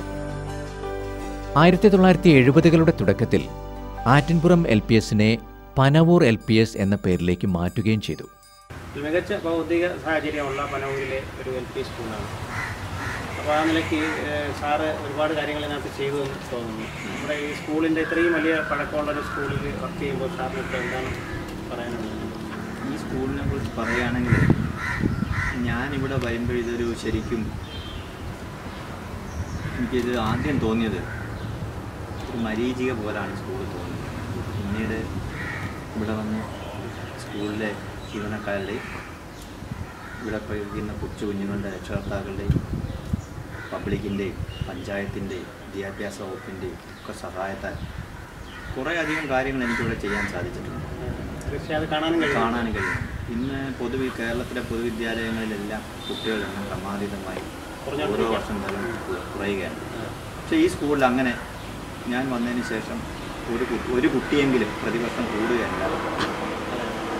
അങ്ങനത്തെ ഒരു അവസ്ഥയിലാണ് ഈ സ്കൂളിൽ പോകുന്നത്. പിന്നെ അക്കാദമികമായ കാര്യത്തിലായാലും സ്കൂളിന്റെ ഭൗതികമായ മറ്റു ചുറ്റുപാടുകളിലായാലും കൊച്ചു ഗ്രാമത്തിലെ നല്ലൊരു സ്കൂളാണ്. ഒരുപാട് മാറ്റങ്ങൾ ഈ ആറ് വർഷം കൊണ്ട് എനിക്കിവിടെ ഉണ്ടാക്കിയെടുക്കാൻ സാധിച്ചു. ഈ സ്കൂൾ തുടങ്ങിയത് ഏത് വർഷം? ആയിരത്തി തൊള്ളായിരത്തി പതിനാറിലാണ് ഈ സ്കൂൾ തുടങ്ങിയത് രണ്ടായിരത്തി പതിനാറാകുമ്പോഴേക്കും നൂറ് വർഷം നൂറ് വർഷം തികയും. നൂറ് വർഷം തികയുന്ന ഒരു മുത്തശ്ശിയായി മാറിക്കൊണ്ടിരിക്കുകയാണ്. അതിന്റെ ആഘോഷത്തിന് വേണ്ടിയുള്ള ചുവടുവെപ്പൊക്കെ ഞങ്ങൾ നടത്തിക്കൊണ്ടിരിക്കുകയാണ്. ഒരു കാലത്ത് ഗ്രാമമുഖ്യനായിരുന്ന പാമ്പാടി മുതലാളി എന്നറിയപ്പെടുന്ന പാമ്പാടി ഹാജി എം മുഹമ്മദ് കുഞ്ഞ് എന്നയാളിന്റെ നാമധേയത്തിലുള്ള മാനേജ്മെന്റ് സ്കൂളാണ് പാമ്പാടി ഹാജി മുഹമ്മദ് കുഞ്ഞ് മെമ്മോറിയൽ ഹയർ സെക്കൻഡറി സ്കൂൾ. ആയിരത്തി തൊള്ളായിരത്തി എഴുപത്തി ഒൻപത് ജൂൺ അഞ്ചിനാണ് ഇത് ഉദ്ഘാടനം ചെയ്യപ്പെടുന്നത്. ആദ്യ മാനേജർ അന്നത്തെ പനവൂർ പഞ്ചായത്ത് പ്രസിഡന്റും പാമ്പാടി മുതലാളിയുടെ മകളുടെ ഭർത്താവുമായിരുന്ന എം മുഹമ്മദ് ഹനീഫയായിരുന്നു. എട്ട് മുതൽ പത്ത് വരെ ഉണ്ടായിരുന്ന പഞ്ചായത്തിലെ ഏക ഹൈസ്കൂൾ. രണ്ടായിരം ആണ്ടിൽ വൊക്കേഷണൽ ഹയർ സെക്കൻഡറി സ്കൂളായും രണ്ടായിരത്തി പതിനാലിൽ ഹയർ സെക്കൻഡറി സ്കൂളായും ഉയർന്നു. ഗ്രാമത്തിലെ കുട്ടികൾ ഹൈസ്കൂൾ പഠനത്തിനായി നെടുമങ്ങാട്ടേക്ക് നടന്നു പോയിരുന്ന ദുർഘടമായ ഒരു ഗതകാലമുണ്ടായിരുന്നു പനവൂരിന്. ഗ്രാമത്തിന്റെ വിദ്യാഭ്യാസ ഭൂമികയിൽ ഈ സ്കൂൾ വലിയ ആശ്വാസമാവുകയായിരുന്നു. മാനേജറായിരുന്ന എം എം ഹനീഫയുടെ വിയോഗത്തെ തുടർന്ന് അദ്ദേഹത്തിന്റെ ഏക മകൻ മുഹ്സിൻ ആണ് ഇന്ന് ആ സ്ഥാനം വഹിക്കുന്നത്. സ്കൂളിലെ ആദ്യ വിദ്യാർത്ഥിനി പനവൂർ ഒ പി കെയിൽ ലൈല. ഇപ്പോൾ നമ്മുടെ ഈ സ്കൂൾ നല്ല നല്ല വികസനമാണ്. വികസനത്തിന് പ്ലസ് ടു ഉണ്ട്. ഉക്കേഷ ഹയർ സെക്കൻഡറി ഉണ്ട്. ഇത് ബിൽഡിങ്ങിന്റെ പണിയിൽ നടന്നുകൊണ്ടിരിക്കുന്നുണ്ട്. ഇപ്പോൾ ഈ വർഷം ഒരു ബാച്ച് കിട്ടി. ഒരു പിന്നെ ഉണ്ട് ഉണ്ട് സ്റ്റുഡന്റ് പോലീസിന്റെ ഉണ്ട്. ഇതെല്ലാം ഉണ്ട്. ഇത് P H M K M H എസിലെ ആദ്യത്തെ ബാച്ചിലെ വിദ്യാർത്ഥിയാണ്. ആദ്യ എസ് എസ് എൽ സി ബാച്ചിൽ നിന്ന് എസ് എസ് എൽ സി പാസ്സായ പതിനാല് പേരിൽ ഒരാൾ. ഇന്ന് കെ എസ് സി ബിയിലെ സബ് എഞ്ചിനീയറായി ജോലി നോക്കുന്ന ലിയാമുദ്ദീൻ എന്ന ഇദ്ദേഹം P H M K M H എസിലെ ഗൃഹാതുരത്വമുണർത്തുന്ന പഴയ കാലം അയവിറക്കുകയാണ്. ഞാനും എന്റെ ജ്യേഷ്ഠനും കൂടി. ആനാട് സ്കൂളിൽ നിന്ന് അധ്യക്ഷനായി രണ്ട് ദിവസം അവിടെ ക്ലാസ് വരും പനവൂർ സ്കൂളിങ്ങനെ തുടങ്ങി അങ്ങനെ അവിടെ നിന്ന് ടി സി വാങ്ങി പനവൂർ വന്ന് ചേർന്നു. ആദ്യം രണ്ട് ഡിവിഷനാണ് ഉണ്ടായത് പനവൂർ പോസ്റ്റ് ഓഫീസ് ബിൽഡിങ്ങിന് ആദ്യം വരുന്ന പോസ്റ്റ് ഓഫീസ് ബിൽഡിങ്ങിലാണ് താമസം. താഴെ മുകളിലുമായിട്ട് രണ്ട് ഡിവിഷനാണ് ആദ്യ അധ്യാപകൻ എന്ന് പറയുന്ന ആട്ടുകാൽ ശശി സാറാണ് ആദ്യത്തെ പിന്നെ അന്നത്തെ സ്കൂൾ മാനേജറെ മകളായ ടീച്ചർ ടീച്ചർ. രണ്ടുപേരും. പിന്നെ ഒരു സരോജിനി ടീച്ചർ ഹിന്ദി പഠിപ്പിച്ച ഒരു മൂന്നാളാണ് ഇത് പനവൂരിന്റെ പ്രാന്തപ്രദേശമായ വെള്ളാഞ്ചിറ. കവലയുടെ കേന്ദ്രസ്ഥാനത്ത് തന്നെ കാനനഭംഗി കവിഞ്ഞൊഴുകി കണ്ണിനും കരളിനും കൂടെ പ്രകൃതിക്കും കുളിരേകിക്കൊണ്ട് ഗ്രാമത്തിന്റെ പ്രധാന വീഥിയോട് ഓരം ചേർന്ന് പ്രകൃത്യാലുള്ള മനോജ്ഞമായ ഒരു വനം തീർത്തിരിക്കുകയാണ് വാമൻ എന്ന വലിയ മനുഷ്യൻ. തന്റെ ശാരീരിക വലിപ്പത്തിനപ്പുറം അറിവിലും അനുഭവത്തിലും ശിഷ്യസമ്പത്തിലും പെരുത്തു വലിപ്പമുള്ളയാൾ. പതിറ്റാണ്ടുകൾക്കപ്പുറം തന്റെ അച്ഛൻ ഊരുട്ടമ്പലം കേശവൻ വൈദ്യർ കുടുംബസമേതം ഇവിടേക്ക് കുടിയേറിയതിന്റെ കഥ പനവൂരിന്റെ കൂടി കഥയാണ്. ആയിരത്തി തൊള്ളായിരത്തി പതിനാലിലെ ഊരുട്ടമ്പലം പുലേർ ലഹളയും അതോടനുബന്ധിച്ച് നെയ്യാറ്റിൻകര കോടതിയിലെ ക്ലാസിഫയർ ആയിരുന്ന കുളക്കോട്ടറ കൊച്ചപ്പിപ്പിള്ള എന്ന വമ്പൻ പ്രമാണിയുമായി തെറ്റിപ്പിരിഞ്ഞ് നാടുവിടേണ്ടി വന്നതും രാജാവ് തിരുമനസ്സിനെ മുഖം കാണിക്കാൻ അനുവാദമുള്ള കണ്ടളപ്പിള്ളയുമായുള്ള അടുപ്പവുമൊക്കെ കേശവൻ വൈദ്യർക്ക് ഈ പനവൂരിനെ വരിക്കാനുള്ള കാരണമാവുകയായിരുന്നു. അന്ന് പുന്നയ്ക്കൽ തമ്പിമാർക്ക് ഇവിടെ ഇരുന്നൂറ് ഏക്കർ പുരയിടവും ഇരുന്നൂറ് പുറം നിലവും ഉണ്ടായിരുന്നു. വനഭൂമിയായിരുന്ന ഇവിടം ഒരു പണത്തിന് അവർക്ക് പതിച്ചു കിട്ടിയതായിരുന്നു. തമ്പിമാരിൽ പ്രധാനിയായിരുന്ന രാമൻ തമ്പി തഹസിൽദാർ തങ്ങളുടെ ഭൂമിയിൽപ്പെട്ട പതിനൊന്ന് ഏക്കർ അൻപത്തിരണ്ട് സെന്റ് സ്ഥലം വൈദ്യർക്ക് പാട്ടത്തിന് കൊടുത്തു. ബാക്കി വരുന്ന പ്രവിശാലമായ തങ്ങളുടെ ഭൂപ്രദേശത്തെ നോക്കി നടത്തണം എന്നതായിരുന്നു വ്യവസ്ഥ. താൻ പരിരക്ഷിച്ചു വരുന്ന സ്വാഭാവിക വനത്തെക്കുറിച്ച് അദ്ദേഹം വാചാലനാവുകയാണിവിടെ. സ്വാഭാവിക വനം ശരിക്കും സാറിന്റെ സംരക്ഷണ ഇല്ലെങ്കിൽ അത് നിലനിർത്തുന്ന ഇത് പിന്നെ എത്ര ഏരിയ ഉണ്ട് സാർ ഈ മൂന്ന് ഏക്കറൊക്കെ മൂന്ന് ഏക്കറോളം ഈ മൂന്ന് ഏക്കറോളം എങ്ങനെ സ്വാഭാവികമായിട്ട് എന്തെല്ലാം പിന്നെ സസ്യങ്ങളും വൃക്ഷങ്ങളും ഉണ്ടോ? അതെല്ലാം അതിനകത്ത് നാച്ചുറലായിട്ടുള്ളതെല്ലാം ഉണ്ട്. കാരണം ഇതൊക്കെ നിൽക്കുന്നത് കറുകയാണിത് ഇത്. സിനമൺ പിന്നെ അപൂർവമായിട്ടുള്ള പല വൃക്ഷങ്ങളും ഈ നാച്ചുറലായിട്ട് കിട്ടുന്നതെല്ലാം ഇവിടെ പ്രിസർവ് ചെയ്തിട്ടുണ്ട്. നഷ്ടപ്പെട്ടു പോകാതെ എല്ലാം സൂക്ഷിച്ച് വെച്ചിരിക്കുകയാണ്. അതായത് വനത്തിന്റെ തനിമ ആ, അങ്ങനെ തന്നെ നിലനിർത്തണം. വൃക്ഷങ്ങൾ നട്ട് പിടിപ്പിച്ച് വെച്ചാൽ വനമാവില്ല. അങ്ങനെ റബ്ബർ എസ്റ്റേറ്റ് വനമാവുമല്ലോ. ആവില്ലല്ലോ അപ്പൊ അതെ അതെ വനം എന്ന് പറയുമ്പോൾ പുൽക്കൊടി മുതൽ കൂറ്റൻ മരങ്ങൾ വരെയുള്ള എല്ലാ സസ്യജാലങ്ങളും ഉണ്ടായിരിക്കണം. അതാണ് വനം എന്ന് പറയുന്നത്. അത് നാച്ചുറൽ ആയിരിക്കണം. കൃത്യമാകാൻ പാടില്ല. അപ്പോൾ വെച്ചുപിടിപ്പിച്ചതാകരുത് വച്ചു പിടിപ്പിച്ചാകരുത്. വരുന്നത് ഇവിടെ പലതും ഇങ്ങനെ വരുമ്പോൾ പക്ഷികൾ വാവലുകൾ പക്ഷികളെല്ലാം കൊണ്ട് പല സ്ഥലത്തു നിന്നും പലതും കൊണ്ടുവന്ന് ഇവിടെ താമസിക്കുമ്പോൾ അവയിൽ നിന്നെല്ലാം പുതിയ പുതിയ വൃക്ഷങ്ങൾ പുതിയ പുതിയ ചെടികളൊക്കെ ഉണ്ടാവും. അവ ഒന്നും നശിച്ചു പോകാതെ സംരക്ഷിച്ച് നിർത്തിയെടുക്കണം. അതാണ് വനം എന്ന് പറയുന്നത്. റിസർവേഷൻ ഓഫ് ഫോറസ്റ്റ് അതെ നമുക്ക് ശരിക്കും നഷ്ടപ്പെട്ടുകൊണ്ട് പോയിരിക്കുന്ന പലതിനെയും ഇവിടെ സംരക്ഷിച്ച് നിർത്തുക. അതാണ് ഉദ്ദേശം. ഇതിപ്പോ സാറിന് സാറിന്റെ അച്ഛൻ കേശവ വൈദ്യരിൽ നിന്ന് കിട്ടിയ ഒരു പ്രചോദനമായിരിക്കണം അല്ലേ ഇത്? അല്ല അല്ല അല്ല. ഇത് അന്ന് ഇവിടെയൊക്കെ നല്ല കൃഷി ഉണ്ടായിരുന്നു അച്ഛനുണ്ടായിരുന്നപ്പോൾ ഇവിടെയൊക്കെ കൃഷി. പിന്നെ ആവശ്യത്തിന് വേണ്ടി ഇവിടെ ഒരുപാട് ഔഷധങ്ങൾ അന്ന് നട്ടിരുന്നു.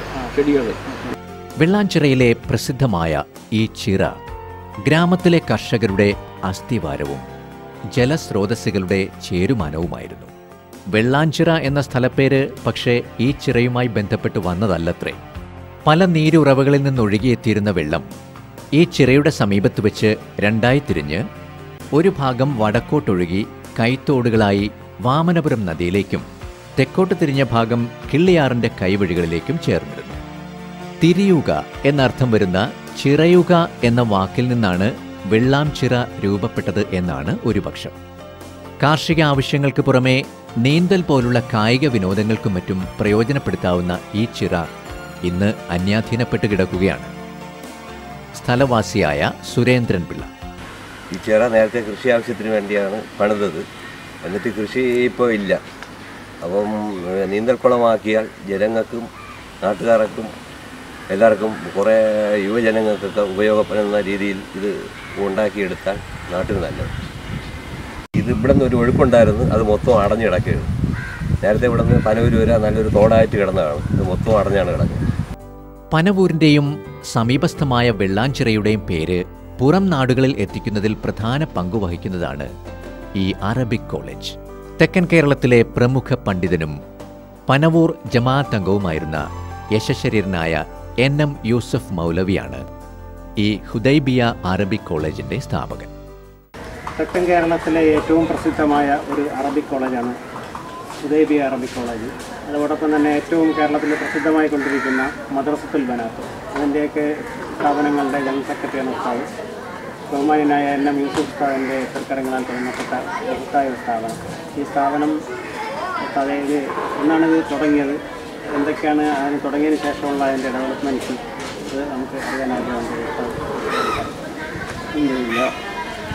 തൊള്ളായിരത്തി തൊണ്ണൂറ്റി ഏഴിൽ ഉസ്താദ് ഉസ്താദിന്റെ അധ്വാനത്തിൽ നിന്നും ലഭിച്ച ഈ മുപ്പത്തിയഞ്ച് സെന്റ് സ്ഥലം വക്കുഫ് ചെയ്യുകയും ബഹുമാന്യനായ തഴവ ഉസ്താദിനെ കൊണ്ട് ശിലാസ്ഥാപന കർമ്മം നിർവഹിക്കുകയും തൊണ്ണൂറ്റി ഒൻപതിൽ ബഹുമാന്യനായ തഴവ തന്നെ ഈ കോളേജ് ഔപചാരികമായി ഉദ്ഘാടനം ചെയ്യുകയും ചെയ്തു.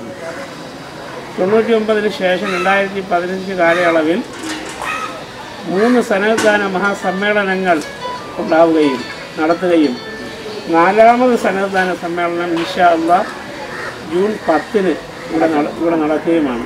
അതിപ്പോൾ എത്ര താലിബികൾ നമ്മുടെ ഒപ്പം പഠിക്കാനാണ്. ഇപ്പം നൂറ് കുട്ടികൾ ഇവിടെ പഠിക്കുന്നുണ്ട്. ഇല്ല ആ നൂറ് കുട്ടികളിൽ വെക്കേഷൻ ക്ലാസ്സിലുള്ള ഇരുപത്തിയഞ്ച് കുട്ടികൾ. അതിന് പുറമെ നാല് ക്ലാസ്സുകളിലും പഠിക്കുന്നുണ്ടല്ലേ? School plus one plus two എട്ട് ഒമ്പത് ക്ലാസ്സുകൾ അതിനോടൊപ്പം കിതാബുകൾ. രണ്ട് വിദ്യാഭ്യാസം കൂടെ വിദ്യാഭ്യാസം സമന്വയിപ്പിച്ചു സമന്വയിപ്പിക്കുന്ന ഒരു പാഠ്യ പാഠ്യപദ്ധതിയാണ് ഇപ്പം നിലവിലൂടെ ഉള്ളത്. അതായത് ആത്മീയ ഭൗതിക വിദ്യാഭ്യാസങ്ങളെ സമന്വയിപ്പിച്ചുകൊണ്ടുള്ള വിദ്യാഭ്യാസം. അത് തന്നെയാണ് നമുക്ക് നമുക്ക് ആവശ്യം നമുക്ക് ആവശ്യം അത്തരത്തിലുള്ള വിദ്യാഭ്യാസം രംഗത്ത് വന്നതിന് ശേഷം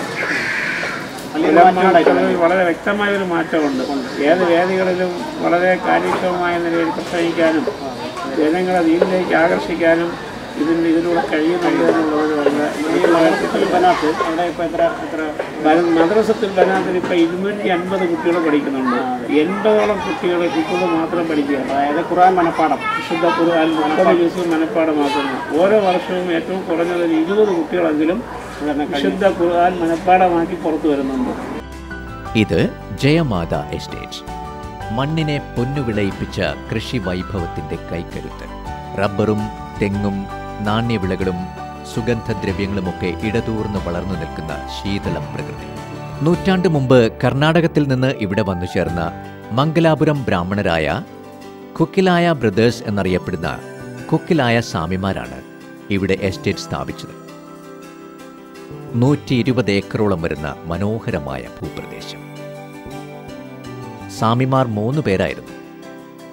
മൂത്തയാൾ രാമകൃഷ്ണ കുക്കിലായ. അന്നത്തെ ഡിവിഷണൽ ഇൻസ്പെക്ടർ ഓഫ് സ്കൂൾസ് ആയിരുന്നു അദ്ദേഹം. അവധിക്കാലം അവർ ഇവിടെ ചെലവഴിച്ചിരുന്നു. ഇളയ ആൾ പത്മനാഭ കുക്കിലായ. പേരുകേട്ട സർക്കാർ വക്കീൽ. പിന്നെ അദ്ദേഹം തിരുക്കൊച്ചിയിലെ ഒന്നാമത്തെ ജഡ്ജിയുമായി. ആയിരത്തി തൊള്ളായിരത്തി അറുപതുകൾക്ക് ശേഷമാണ് ഇന്നത്തെ ജയമാത എസ്റ്റേറ്റ് ഉടമകളുടെ പൂർവികർ അത് സ്വന്തമാക്കിയത്. എസ്റ്റേറ്റിന്റെ ഏറ്റവും വലിയ ആകർഷണവും പ്രകൃതിയുടെ വരദാനവുമായ കുരിശുപാറ എന്ന മലയാണ് എസ്റ്റേറ്റിന്റെ ഏറ്റവും വലിയ ഹൃദ്യത എസ്റ്റേറ്റ് ബംഗ്ലാവിൽ നിന്ന് അച്ഛന്മാരുടെ വക ബൊളീറോ ജീപ്പിൽ ഇപ്പോഴത്തെ കാര്യദർശി ക്ലമന്റ് അച്ഛൻ ഞങ്ങളെ കുരിശുപാറയിൽ എത്തിച്ചു. മനോഹരമായ ചെറിയ ഹെയർ പിൻ വളവുകൾ കയറി ജീപ്പ് കുരിശുപാറയുടെ അടിവാരത്ത് നിന്നു.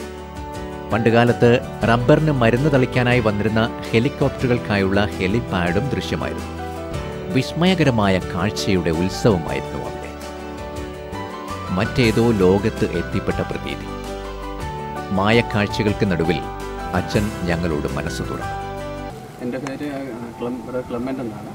ഫ്രാൻസിസ്കൻ മിഷണറി സമൂഹത്തിന്റെ കീഴിലുള്ള ഒരു സ്ഥാപനമാണ്. അപ്പോൾ ഞങ്ങൾ missionaries orphanage old age home school ഇങ്ങനെയുള്ള സ്ഥാപനം റൺ ചെയ്യുന്നുണ്ട്. ഒരുപാട് ചാരിറ്റി സ്ഥാപനങ്ങൾ ചാരിറ്റബിൾ സ്ഥാപനങ്ങൾ. സ്ഥാപനങ്ങൾ റൺ ചെയ്യുന്നുണ്ട്. അപ്പോൾ ഇതിൽ നിന്ന് കിട്ടുന്ന ഇന്നും ഇങ്ങനെയുള്ള ചാരിറ്റിക്ക് വേണ്ടിയാണ് ഉപയോഗിക്കുന്നത്. ഉപയോഗിക്കുന്നത്.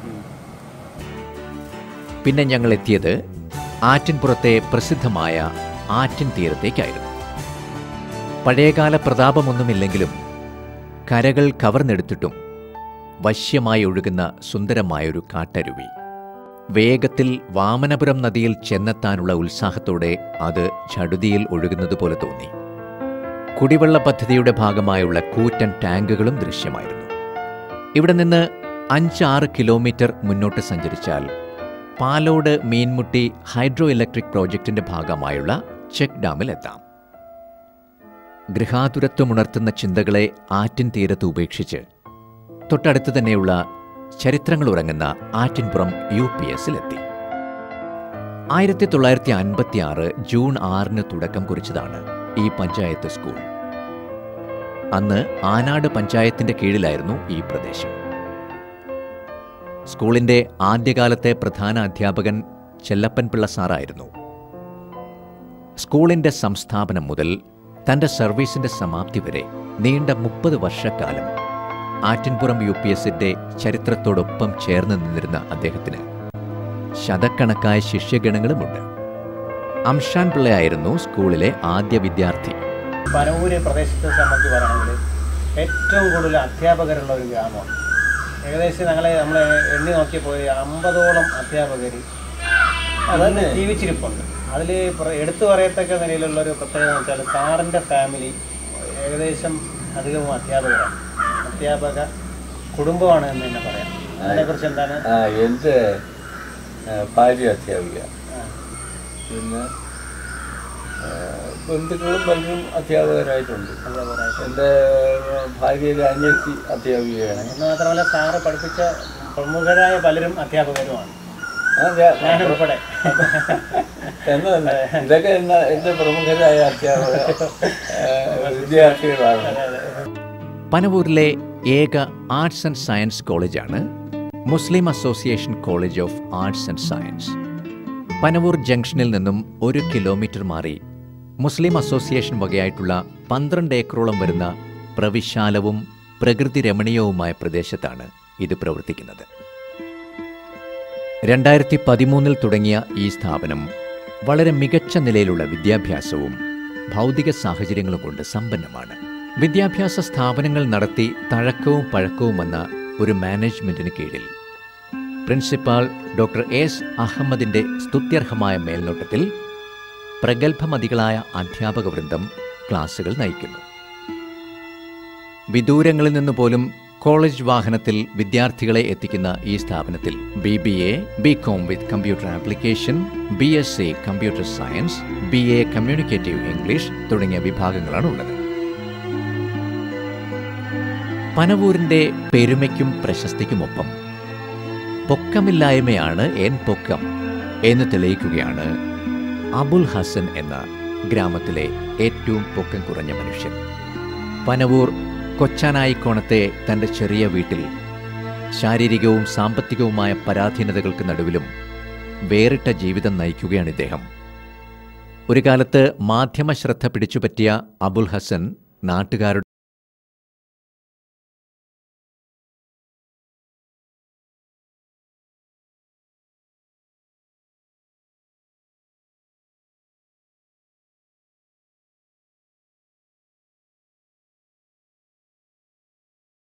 ഈ പനവൂർ പഞ്ചായത്തിലെ ഏറ്റവും ഉയരം കുറഞ്ഞ വ്യക്തിയാണ് നിങ്ങൾ. അപ്പോൾ ഈ ഉയരക്കുറവ് എന്തെങ്കിലും നിങ്ങൾക്ക് നേട്ടങ്ങൾ ഉണ്ടാക്കിയിട്ടുണ്ട് പെൻഷൻ കിട്ടും? പെൻഷൻ കിട്ടും. സഹായിക്കും? സഹായമുണ്ട് അങ്ങനെയൊക്കെയുള്ള അതേ. ഇപ്പൊ എന്ത് ജോലി എന്ത് ചെയ്യും? ജോലി ഞാൻ നയിക്കുമ്പോഴേ ചെറിയ പേര അത് നമ്മുടെ പുരയിടത്തിൽ നമ്മുടെ അല്ല ഇതിനു വേണ്ടി ജോലിക്കാരും ആൾക്കാരെ അത് ശരി. ആ.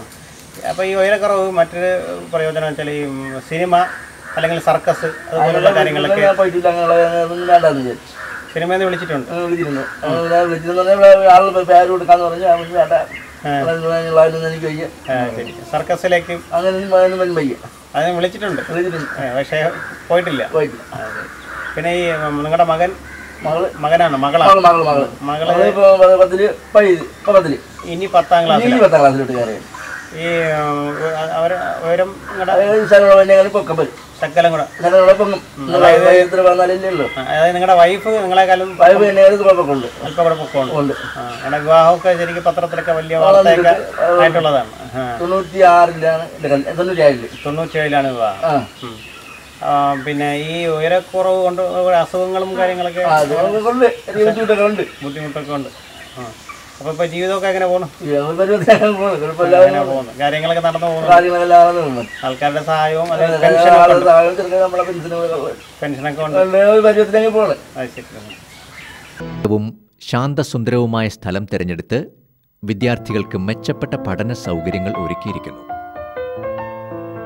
ഹീര കൺസ്ട്രക്ഷൻ എന്ന വൻകിട ഫ്ലാറ്റ് നിർമ്മാതാക്കളുടെ ധീരമായ സംരംഭം.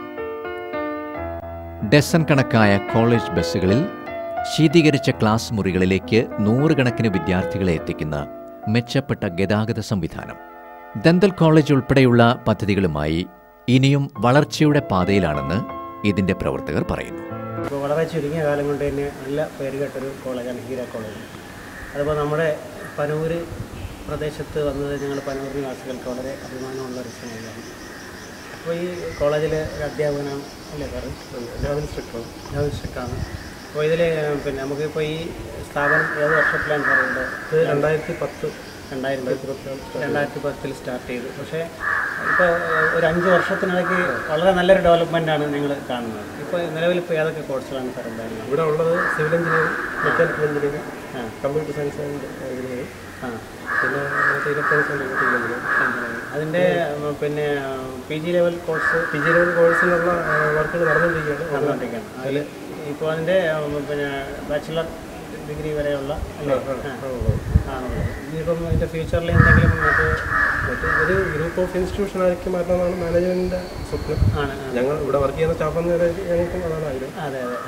അപ്പോൾ അതിന്റെ പടിയെന്നാണ് അടുത്ത മറ്റേ മറ്റ് ലെവലിലേക്ക് ഉള്ള ചർച്ചകൾ നടന്നുകൊണ്ടിരിക്കുകയാണ്. അപ്പോൾ ഇവിടെ സ്റ്റുഡൻസ് വന്നിട്ട് എത്ര ഏകദേശം എത്ര സ്റ്റുഡൻസ് ഉണ്ടാവും? ഇവിടെ ഒരു ബാച്ചിന് മുന്നൂറാണ് ഉള്ളത്. മെറിറ്റ് നൂറ്റി അൻപത് മാനേജ്മെന്റ് നൂറ്റി അൻപത് നാടിനെ നട്ട് നനച്ച് പുഷ്ടിപ്പെടുത്തി പോന്നിരുന്ന കുഞ്ഞരുവികളും കൈത്തോടുകളും അവ ചെന്നു പതിക്കുന്ന ആറുകളും പുഴകളും കണ്ടങ്ങളെ വിഭജിച്ചിരുന്ന വരമ്പുകളും അവയ്ക്കിടയിലെ മടവുകളിലൂടെ പകുത്തു നൽകിയിരുന്ന ജലധാരയുമൊക്കെ ഇന്ന് വംശനാശം വന്നുകൊണ്ടിരിക്കുകയാണ്.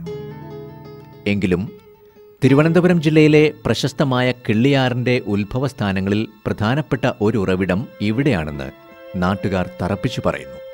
കേരളത്തിലെ നാൽപ്പത്തിനാല് നദികളിൽ ഒന്നായ കരമനയാറിന്റെ ഏറ്റവും പ്രധാനപ്പെട്ട പോഷക നദിയാണ് കിള്ളിയാർ.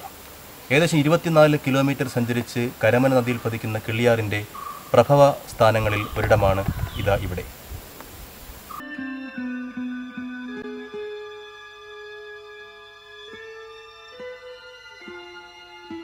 പനവൂരിന്റെ സമീപസ്ഥമായ മലഞ്ചെരുവിലാണ് വെള്ളംകുടി എന്ന പ്രദേശം. പേര് സൂചിപ്പിക്കും പോലെ കയറ്റം കയറി മുകളിൽ ചെല്ലുമ്പോൾ ആർക്കും വെള്ളം കുടിക്കണം എന്ന് തോന്നിപ്പോകും. പക്ഷേ കുടിവെള്ളത്തിന് വേനൽക്കാലത്ത് വെള്ളംകുടി പ്രദേശക്കാർക്ക് അധികം ബുദ്ധിമുട്ടേണ്ടി വരുന്നു എന്നാണ് സ്ഥലവാസികൾ പറയുന്നത്.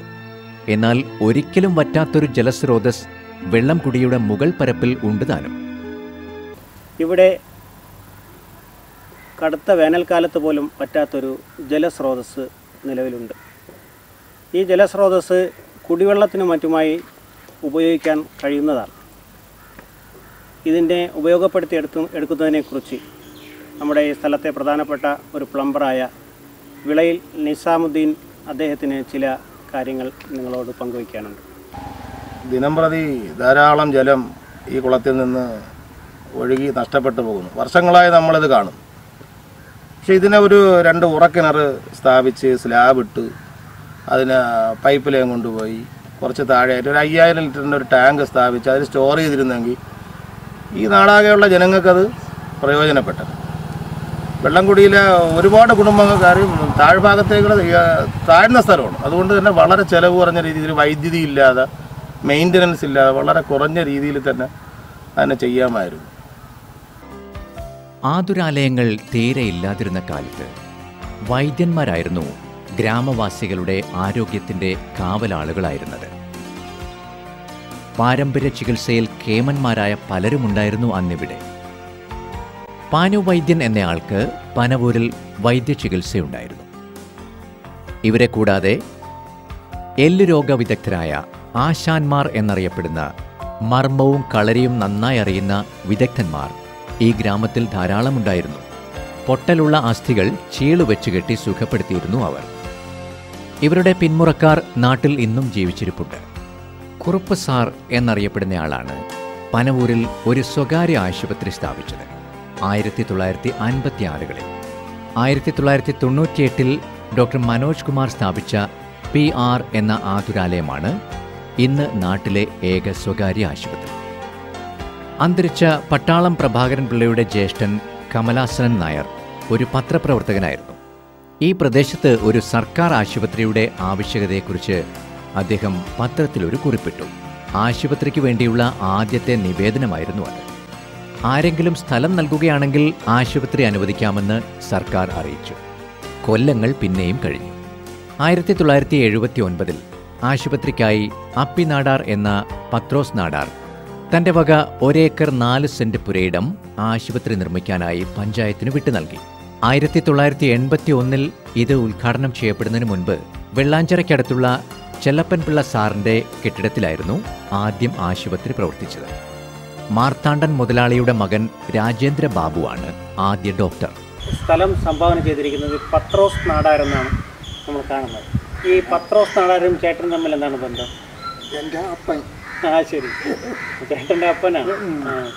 അപ്പോൾ ചേട്ടന്റെ അപ്പൻ സംഭാവന ചെയ്ത സ്ഥലത്താണ് ഇപ്പോൾ ഈ ആശുപത്രി പ്രവർത്തിക്കുന്നത് തന്നെ ആ ശരി അപ്പോൾ എത്ര ഏരിയ ആണ് ഇത് ഇതിനകത്തുള്ളത്? ഇതിനകത്ത് ഒരു ഏക്കർ നാല് സെന്റ് ഉണ്ട്. ഏക്കർ നാല് സെന്റ് ഇപ്പോഴും നിലവിലുണ്ട്. ഉണ്ട് ഉണ്ട്. അതിൽ ഈ ചെറിയ വളരെ ചെറിയൊരു സ്ഥാപനം മാത്രമാണ് ഇന്ന് ആശുപത്രി ആയിട്ടുള്ളത്. ആണ്. ബാക്കി സ്ഥലത്ത് ഈ മരിച്ചിനൊക്കെ നട്ടിരിക്കുന്നത് അത് പാട്ടം പഞ്ചായത്തിൽ നിന്ന് പാട്ടം കൊടുത്തു പഞ്ചായത്തിൽ നിന്ന് പാട്ടം കൊടുത്തിരിക്കുകയാണ്. അപ്പോൾ ഇനിയും ഒരുപാട് വികസന സാധ്യതകൾ ഇതിനകത്തുണ്ട് അല്ലേ? ചേട്ടന് എത്ര വയസ്സായി കാണും അപ്പോഴും? എനിക്ക് എഴുപത് വയസ്സായി. എഴുപത് വയസ്സായി. അച്ഛൻ മരിച്ചിട്ട് പതിനഞ്ച് വർഷത്തോളം. പതിനഞ്ച് വർഷത്തോളമായി. അപ്പൊ ഈ പതിനഞ്ച് വർഷത്തിന് ശേഷം ഇതിനകത്ത് വലിയ വികസനമൊന്നും ഇതിനകത്തില്ല അല്ലേ? ഈ അതെ അച്ഛൻ പിന്നെ ഇല്ല. ഇതാ ഇത് രണ്ട് മണ്ണിന് പിന്നെ അങ്ങനെ വെച്ചില്ല ഒന്നും ഒന്നും ഒന്നുമില്ല. ഗ്രാമത്തിലെ ഉൽപ്പന്നങ്ങളും അവശ്യ സാധനങ്ങളും മത്സ്യവും പച്ചക്കറികളും മറ്റും ക്രയവിക്രയം ചെയ്യാൻ പണ്ടൊക്കെ ആരെങ്കിലും സ്ഥലം നൽകുമായിരുന്നു. പനവൂർ മാർക്കറ്റിനായി സ്ഥലം അനുവദിച്ചത് ആയിരത്തി തൊള്ളായിരത്തി അറുപത്തിനാല് ഏപ്രിൽ ഇരുപത്തിനാലിന് അന്തരിച്ച പാമ്പാടി മുഹമ്മദ് കുഞ്ഞാണ് ഇന്ന് അദ്ദേഹത്തിന്റെ മകൻ പാമ്പാടി ഷഹാബ്ദീൻ താമസിക്കുന്ന സ്ഥലത്താണ് ആദ്യകാല മാർക്കറ്റ് പ്രവർത്തിച്ചിരുന്നത്. കീർത്തി കേട്ട വിപുലമായൊരു മാർക്കറ്റ്. പിൽക്കാലത്ത് ഇന്ന് നിലവിൽ മാർക്കറ്റിരിക്കുന്ന അദ്ദേഹത്തിന്റെ സ്ഥലത്തേക്ക് മാർക്കറ്റ് മാറുകയായിരുന്നു. പുറം നാടുകളിൽ നിന്നുള്ള വ്യാപാരികൾ വരെ ഇവിടെ സജീവമായിരുന്നു. വട്ടയിലയും കൂവയിലയും കൗങ്ങിൻപാളയും ഇന്നത്തെ പ്ലാസ്റ്റിക് ക്യാരി ബാഗുകൾക്ക് പകരം ഉപയോഗിച്ചിരുന്ന കാലം. ഇവകൾ വിറ്റ് ഉപജീവനം നടത്തിയിരുന്നവരും അന്തിച്ചന്തകൾ കൊണ്ട് ജീവിതം കരുപ്പിടിപ്പിച്ചവരും ഒട്ടനവധിയാണിവിടെ. ആധുനികവൽക്കരിക്കാനുള്ള ശ്രമങ്ങൾക്കിടയിലും ഈ പുരാതന വ്യാപാര കേന്ദ്രം തെരുവുനായകളുടെ വിഹാര കേന്ദ്രം മാത്രമാവുകയാണ്. ഭാരതത്തിന്റെ ഭരണഘടനാ ശില്പി ഡോക്ടർ ബി ആർ അംബേദ്കറുടെ പേരിലുള്ള പനവൂരിലെ അംബേദ്കർ ഗ്രാമം ഇവിടെ ആരംഭിക്കുന്നു. ഒരു കാലത്ത് അരപ്പട്ടിണിയുടെയും മുഴുപ്പട്ടിണിയുടെയും വറുതിയിൽ ജീവിതത്തിന്റെ രണ്ടറ്റവും കൂട്ടിമുട്ടിക്കാൻ പാടുപെട്ടിരുന്ന ഒരുപറ്റം പാവങ്ങൾ അന്തിയുറങ്ങിയിരുന്ന ചെറ്റക്കുടലുകൾ അങ്ങിങ്ങായി ഉയർന്നു നിന്നിരുന്ന ഈ ഗ്രാമം ഇന്ന് പക്ഷേ വളർച്ചയുടെ വഴിയിലാണ്. വിദ്യാഭ്യാസ ജീവിത നിലവാരങ്ങളുടെ പുരോഗതി ഗ്രാമത്തിന്റെ വികസനത്തിന് വഴിവെച്ചു. എന്നിരുന്നാലും ഇവർക്കിടയിൽ ഇന്നും പാർശ്വവൽക്കരിക്കപ്പെട്ട ഒരു കൂട്ടം ആളുകളുമുണ്ട് എന്നതാണ് വസ്തുത. ഗ്രാമത്തിലെ ഏറ്റവും പ്രായം ചെന്ന കുഞ്ഞി എന്ന വൃദ്ധ മാതാവ്. അംബേദ്കർ ഗ്രാമത്തിലെ ഒരു പ്രായം ചെന്ന അമ്മമ്മയാണ്. അമ്മമ്മ പണ്ട് ഈ പുല്ല് പറിച്ച് അത് കഴുകി വിറ്റുകൊണ്ടിരുന്ന കാലമുണ്ട്. അല്ലേ? ഓർമ്മ ഉണ്ടോ ആ കാലമൊക്കെ? ഉണ്ട്. അതിനെക്കുറിച്ചൊന്ന് പറയാമോ?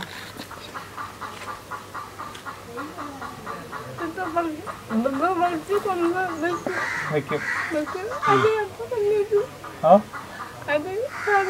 അരി അരിയൊക്കെ അന്ന് വാങ്ങിക്കും. പിന്നെ അതേപോലെ പണ്ട് കാലത്ത് പനൂരിന്റെയൊക്കെ ഉള്ള ആളുകളൊക്കെ ഓർമ്മ ഉണ്ടോ? ആരൊക്കെ ഓർമ്മ ഉണ്ട്?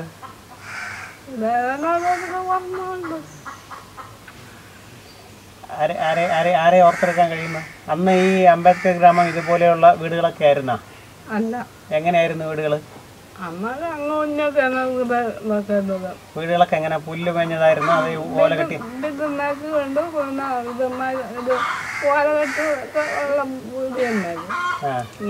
പിന്നെ ഈ പിന്നെ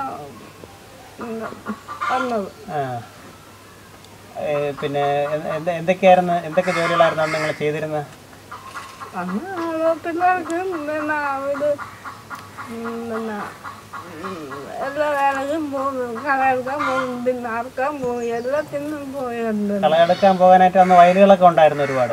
പക്ഷെ ഇപ്പൊ വയലുകളൊന്നും ഇല്ല. ഇപ്പൊ വേല ഒന്നുമില്ല പുല്ല് കുറച്ച് കൊടുക്കാൻ അതായത് പശുക്കളൊക്കെ ഒരുപാട് ഉണ്ടായിരുന്ന കാലം. പക്ഷെ ഇന്ന് ഇന്നത്തെ ഒരു ഒരുണ്ട് ചാണകം കിട്ടാൻ വാങ്ങില്ല തന്റെ ചെറിയ കുടിലിരുന്ന് കഴിഞ്ഞ ഒരു നൂറ്റാണ്ടോളം പനവൂരിന്റെ പാടത്തും വരമ്പത്തും പണിയെടുത്ത അധ്വാനത്തിന്റെ ആ ദിനരാത്രങ്ങളെ അയവിറക്കുകയാണ്. ഒരു കാലത്ത് പനവൂർ മാർക്കറ്റിൽ കൗങ്ങിൻ പാള കൊണ്ട് സഞ്ചികൾ ഉണ്ടാക്കി വിറ്റ് ഉപജീവനം നടത്തിയിരുന്ന പാളച്ചെല്ലമ്മ എന്നറിയപ്പെട്ടിരുന്ന ചെല്ലമ്മ. അമ്മമ്മയ്ക്ക് ഇപ്പോൾ എത്ര വയസ്സായി? തൊണ്ണൂറ് വയസ്സായി. അപ്പോൾ ഈ തൊണ്ണൂറ് വർഷക്കാലം കൊണ്ട് ഈ ഗ്രാമത്തിലെ കാര്യങ്ങളെല്ലാം അറിയാവുന്ന ഒരാളാണ് അല്ലേ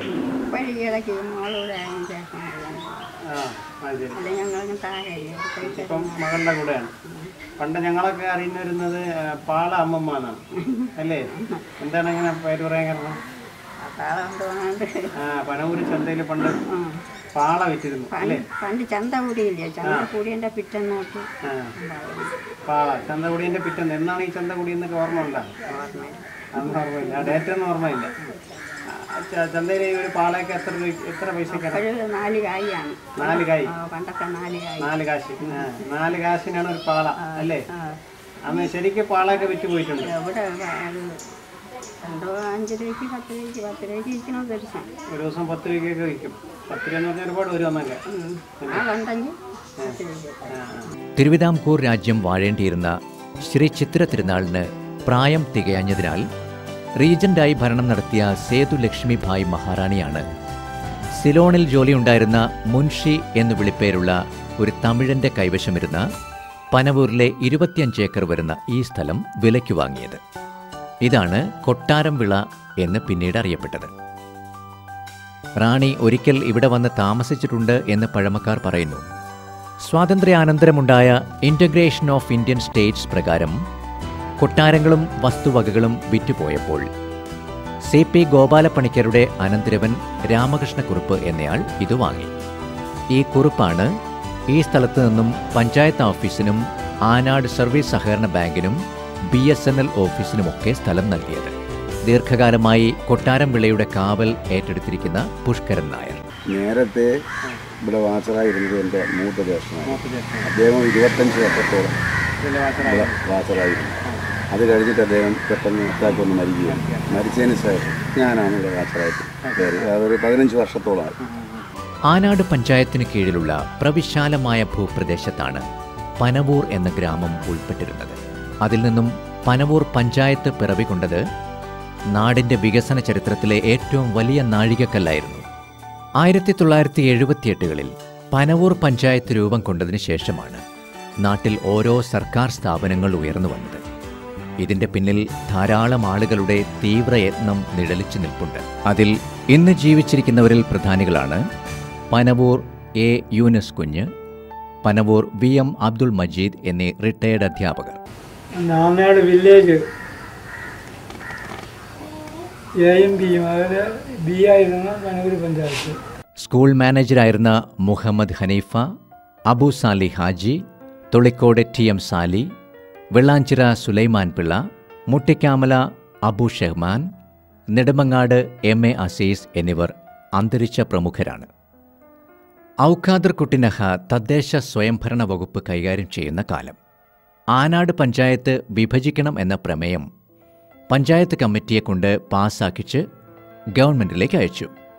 രാഷ്ട്രീയ സ്വാധീനവും സമ്മർദ്ദ തന്ത്രങ്ങളും പ്രയോഗിച്ച് ഗ്രാമത്തിലെ ഒരുപിടി സാമൂഹ്യ പ്രവർത്തകർ ആരെയും തലയും മുറുക്കി രംഗത്തിറങ്ങി. അന്ന് പഞ്ചായത്ത് ഡയറക്ടറായിരുന്ന സുബ്ബയ്യൻ എന്നയാളിലും മറ്റുദ്യോഗസ്ഥരിലും അനുകൂല മനസ്ഥിതി ഉണ്ടാക്കി. പനവൂർ എൽ പി എസിന്റെ ഒരു വാർഷിക പരിപാടി ഉദ്ഘാടനം ചെയ്യാനായി വിദ്യാഭ്യാസ മന്ത്രിക്ക് പകരം ഈ ഉദ്ദേശം ലാക്കാക്കി പഞ്ചായത്ത് മന്ത്രി നഹയെ തന്നെ ക്ഷണിച്ചു വരുത്തി. ഒടുവിൽ പഞ്ചായത്ത് രൂപീകരണത്തിന്റെ ശുഭവാർത്ത അദ്ദേഹം അന്തരീക്ഷത്തിലുയർന്ന ഹർഷാരവങ്ങൾക്കിടെ പ്രഖ്യാപിച്ചു. ഏറെ താമസിയാതെ തന്നെ പഞ്ചായത്തിന്റെ പിറവി അറിയിച്ചുകൊണ്ടുള്ള സർക്കാർ ഉത്തരവിറങ്ങി. തുടക്കത്തിൽ പഞ്ചായത്ത് ഓഫീസ് പനവൂർ ജംഗ്ഷനിലുണ്ടായിരുന്ന മുത്തിക്കാമൂല അബൂ ഷെഹ്മാന്റെ കെട്ടിടത്തിലാണ് പ്രവർത്തിച്ചത്. ആയിരത്തി തൊള്ളായിരത്തി തൊണ്ണൂറ്റി ഒൻപതിലാണ് ഇന്ന് അത് സ്ഥിതി ചെയ്യുന്ന കെട്ടിടത്തിലേക്ക് മാറിയത്. ഇതിന് സ്ഥലം സംഭാവന ചെയ്തത് കൊട്ടാരം വിളയുടെ ഉടമയായ രാമകൃഷ്ണക്കുറുപ്പായിരുന്നു. പഞ്ചായത്തിന്റെ ആദ്യ പ്രസിഡന്റ് എം എം ഹനീഫ ആയിരുന്നു. സർക്കാർ നേരിട്ട് നോമിനേറ്റ് ചെയ്തവരായിരുന്നു അദ്ദേഹം അടങ്ങുന്ന ആദ്യ ഭരണസമിതി. ഏതാനും വർഷങ്ങൾക്കകം വന്ന തെരഞ്ഞെടുപ്പിലൂടെ ആദ്യമായി പഞ്ചായത്ത് പ്രസിഡന്റായത് എ ജെ തങ്കപ്പൻ നായരായിരുന്നു. ദീർഘകാലം ഈ പനൂർ പഞ്ചായത്തിന്റെ മെമ്പറായിട്ടും അതേപോലെ വൈസ് പ്രസിഡന്റായിട്ടും ഒക്കെ നിങ്ങൾ സേവനം അനുഷ്ഠിക്കാറുണ്ട് ഇതിപ്പോൾ എത്രാമത്തെ രണ്ടാമത്തെ? മൂന്നാമത്തെ ടേൺ ഇപ്പോൾ വൈസ് പ്രസിഡന്റാണ് ഇപ്പം വൈസ് പ്രസിഡന്റ്. അപ്പോൾ നമ്മുടെ ഈ ഏഹ്, പനൂരിനെ സംബന്ധിച്ച ഒരു ഡോക്യുമെന്റ് നമ്മൾ തയ്യാറാക്കിക്കൊണ്ടിരിക്കുകയാണ്. പഴയകാല ചരിത്രം. അപ്പോൾ അതിൽ പഞ്ചായത്തിന്റെ ഈ ബിൽഡിങ് ഈ ഇതിന് സ്ഥലം നൽകിയത് ആരാണ്? രാമേശ്വരം കൊട്ടാരമുള്ള വാങ്ങിയാണ് അദ്ദേഹം സംഭാവനയായിട്ടാണ് നൽകിയ സ്ഥലത്താണ് പ്രത്യേകിക്കുന്നത് ഇപ്പോൾ നമ്മുടെ ഈ പഞ്ചായത്തിന്റെ പ്രവർത്തനങ്ങൾ പറയുമ്പോൾ ഈ ചാനൽ എന്തൊക്കെയാണ് നിങ്ങൾക്ക് നടന്നതും ഇനി നടക്കാനിരിക്കുന്നതായിട്ടുള്ള ഏതാണ്ട് മുപ്പത്തി അഞ്ച് വർഷം എൽ ഡി എഫ് ഭരിച്ച ഒരു പഞ്ചായത്താണ്. രണ്ട് മൂന്ന് ടേണാണ് യു ഡി എഫിന്റെ കയ്യിൽ കിട്ടിയത്. വളരെയധികം പ്രവർത്തനങ്ങളാണ് ഇപ്പം കാഴ്ചവെച്ചുകൊണ്ടിരിക്കുന്നത്. അപ്പം നമുക്ക് ഇനി ഒരു ആറുമാസം കൂടിയാണ് ഉള്ളത്. ആശുപത്രിയുമായി ബന്ധപ്പെട്ട്? ആശുപത്രി കാണുന്ന വികസന പ്രവർത്തനങ്ങളെല്ലാം പഞ്ചായത്തിന്റെ ഫണ്ട് കൊണ്ട് ഉപയോഗിച്ചതാണ്. ഇപ്പോൾ അവിടെ മാർക്കറ്റും ഏതാണ്ട് ഇപ്പോൾ അമ്പത്തിനാല് ലക്ഷം രൂപ കൊടുത്ത് ഷാർട്ടർ ഹൗസ് നിർമ്മിക്കുകയാണ്. അതിന്റെ പ്രവർത്തനം ഉടനെ ഉണ്ടാകും. അതുപോലെ തന്നെ നമ്മൾ ഹോസ്പിറ്റലിനെ സംബന്ധിച്ച് ഡോക്ടർക്ക് താമസിക്കാനുള്ള ഒരു ക്വാർട്ടേഴ്സ് എല്ലാം പഞ്ചായത്ത് താമസം ഇല്ല. പനവൂർ പുത്തൻപാലം റോഡിൽ ഇവിടെ മുതൽ വാഴോട്ട് വരെ നിലയുറയ്ക്കാത്ത അപകടകരമായ ചതുപ്പ് നിലമായിരുന്നു ഒരു കാലത്ത്. വിദ്വാൻ കൃഷ്ണപിള്ള എന്നൊരാൾ ഇവിടം വാങ്ങി. കൊച്ചരുവി എന്നു പേരുള്ള ഒരു ഹരിജൻ അദ്ദേഹത്തിൽ നിന്ന് കൃഷി ചെയ്യാനായി പാട്ടത്തിനെടുത്തു ഈ നിലം. വാഴത്തടകൾ ചേർത്ത് കെട്ടി ചങ്ങാടമുണ്ടാക്കി അതിൽ നിന്നായിരുന്നു ഇവിടെ കൃഷി നടത്തിയതത്രേ. വിശുദ്ധ ഖുർആാനിൽ ഒരു വാക്യമുണ്ട്. പർവതങ്ങളെ നാം ആണികളായാണ് സൃഷ്ടിച്ചിരിക്കുന്നത്. അതെ ഇത് പനവൂരിനെ ഉറപ്പിച്ചു നിർത്തുന്ന മനോഹരമായ ആയിരവല്ലിപ്പാറ പനവൂരിലെ ഏറ്റവും ഉയരം കൂടിയ ഭൂപ്രദേശം അനന്തമായ ടൂറിസം സാധ്യതകളുള്ള ഈ പ്രദേശം ഈ മലനിരകൾ ഒരു കാലത്ത് സഞ്ചാരികളുടെ ഉല്ലാസ കേന്ദ്രമായിരുന്നു. പനവൂരിന്റെ ദൃശ്യചിത്രണം ഉപഗ്രഹ കാഴ്ചകണക്കെ ലഭ്യമാകണമെങ്കിൽ ഗ്രാമത്തിലെ ഏറ്റവും ഉയർന്ന മലയിൽ സ്ഥിതി ചെയ്യുന്ന ഈ ആയിരവല്ലി പാറയിലെത്തണം. ദൂരക്കാഴ്ചയിൽ വലിയൊരു ആനയുടെ രൂപത്തിലുള്ള പടുകൂറ്റൻ പാറ. വിശാലമായ പാറയുടെ മുകൾ പരപ്പിൽ നീളത്തിൽ ഒരു കുളവുമുണ്ട്. ഒരിക്കലും വറ്റാത്ത ഈ കുളം ഒരു കാലത്ത് ശുദ്ധജലമായിരുന്നു. ഈ പാറയെ സംബന്ധിച്ച് ഗ്രാമത്തിലെ ഹിന്ദു മുസ്ലിം മത സമൂഹങ്ങൾക്കിടയിൽ ധാരാളം ഐതിഹ്യങ്ങൾ നിലനിൽക്കുന്നു. ഹൈന്ദവ വിശ്വാസപ്രകാരം ആയിരം കൈകളുള്ള ദേവനുമായും മറ്റു ചിലർ ആയിരം വില്ലുള്ള ആയിരം വില്ലി ദേവനുമായും ബന്ധപ്പെടുത്തിയാണ് ഈ പാറയ്ക്ക് പേര് വന്നതെന്ന് കരുതുന്നു. മുസ്ലിം മതസ്ഥരിൽ ചിലർ പറയുന്നത് ഇവിടെ ജനവാസം തുടങ്ങുന്ന കാലത്ത് തന്നെ ഒരു വെള്ള കുതിരയുടെ പുറത്ത് അരോഗദൃഢഗാത്രനായ ഒരു വലിയ ആയിരം തവണ ഈ പാറയുടെ മുകൾ പരപ്പിൽ വന്നു പോയിരുന്നുവെന്നും അദ്ദേഹത്തിന് നമസ്കാരം നിർവഹിക്കാൻ അംഗസ്നാനം നടത്താൻ വേണ്ടിയാണ് ഇവിടെ കുളമുണ്ടായതെന്നുമാണ്. അങ്ങനെയാണ് അത് ആയിരം വലിപ്പാറ ആയതത്രേ. ഏതായാലും രണ്ടു കൂട്ടരും അവകാശവാദങ്ങളോ തർക്കങ്ങളോ ഉന്നയിക്കാതെ അതിനെ പവിത്രമായി കാണുന്നു എന്നതാണ് വാസ്തവം. പനവൂരിന്റെ പെരുമയും അതുതന്നെയാണ്. എന്നാൽ ഈ പാറയും ഇന്ന് തകർച്ചയുടെ വക്കിലാണ്. ഇത് കല്ലിയോട് ജംഗ്ഷനിൽ ഹാർഡ്വെയർ കടയിട്ടിരിക്കുന്ന വനത്തിൽ മുഹമ്മദ് ബഷീർ മൗലവി. വേറിട്ടൊരു വ്യക്തിത്വത്തിനുടമയാണ് ഇദ്ദേഹം. കൊല്ലങ്ങൾക്ക് മുമ്പ് മൺമറഞ്ഞുപോയ പല ഗ്രാമവാസികളുടെയും മഹത്തുക്കളുടെയും അപൂർവങ്ങളായ ചിത്രശേഖരം ഡിജിറ്റൽ പ്രിന്റ് എടുത്ത് സൂക്ഷിക്കുകയാണ് ഇദ്ദേഹം.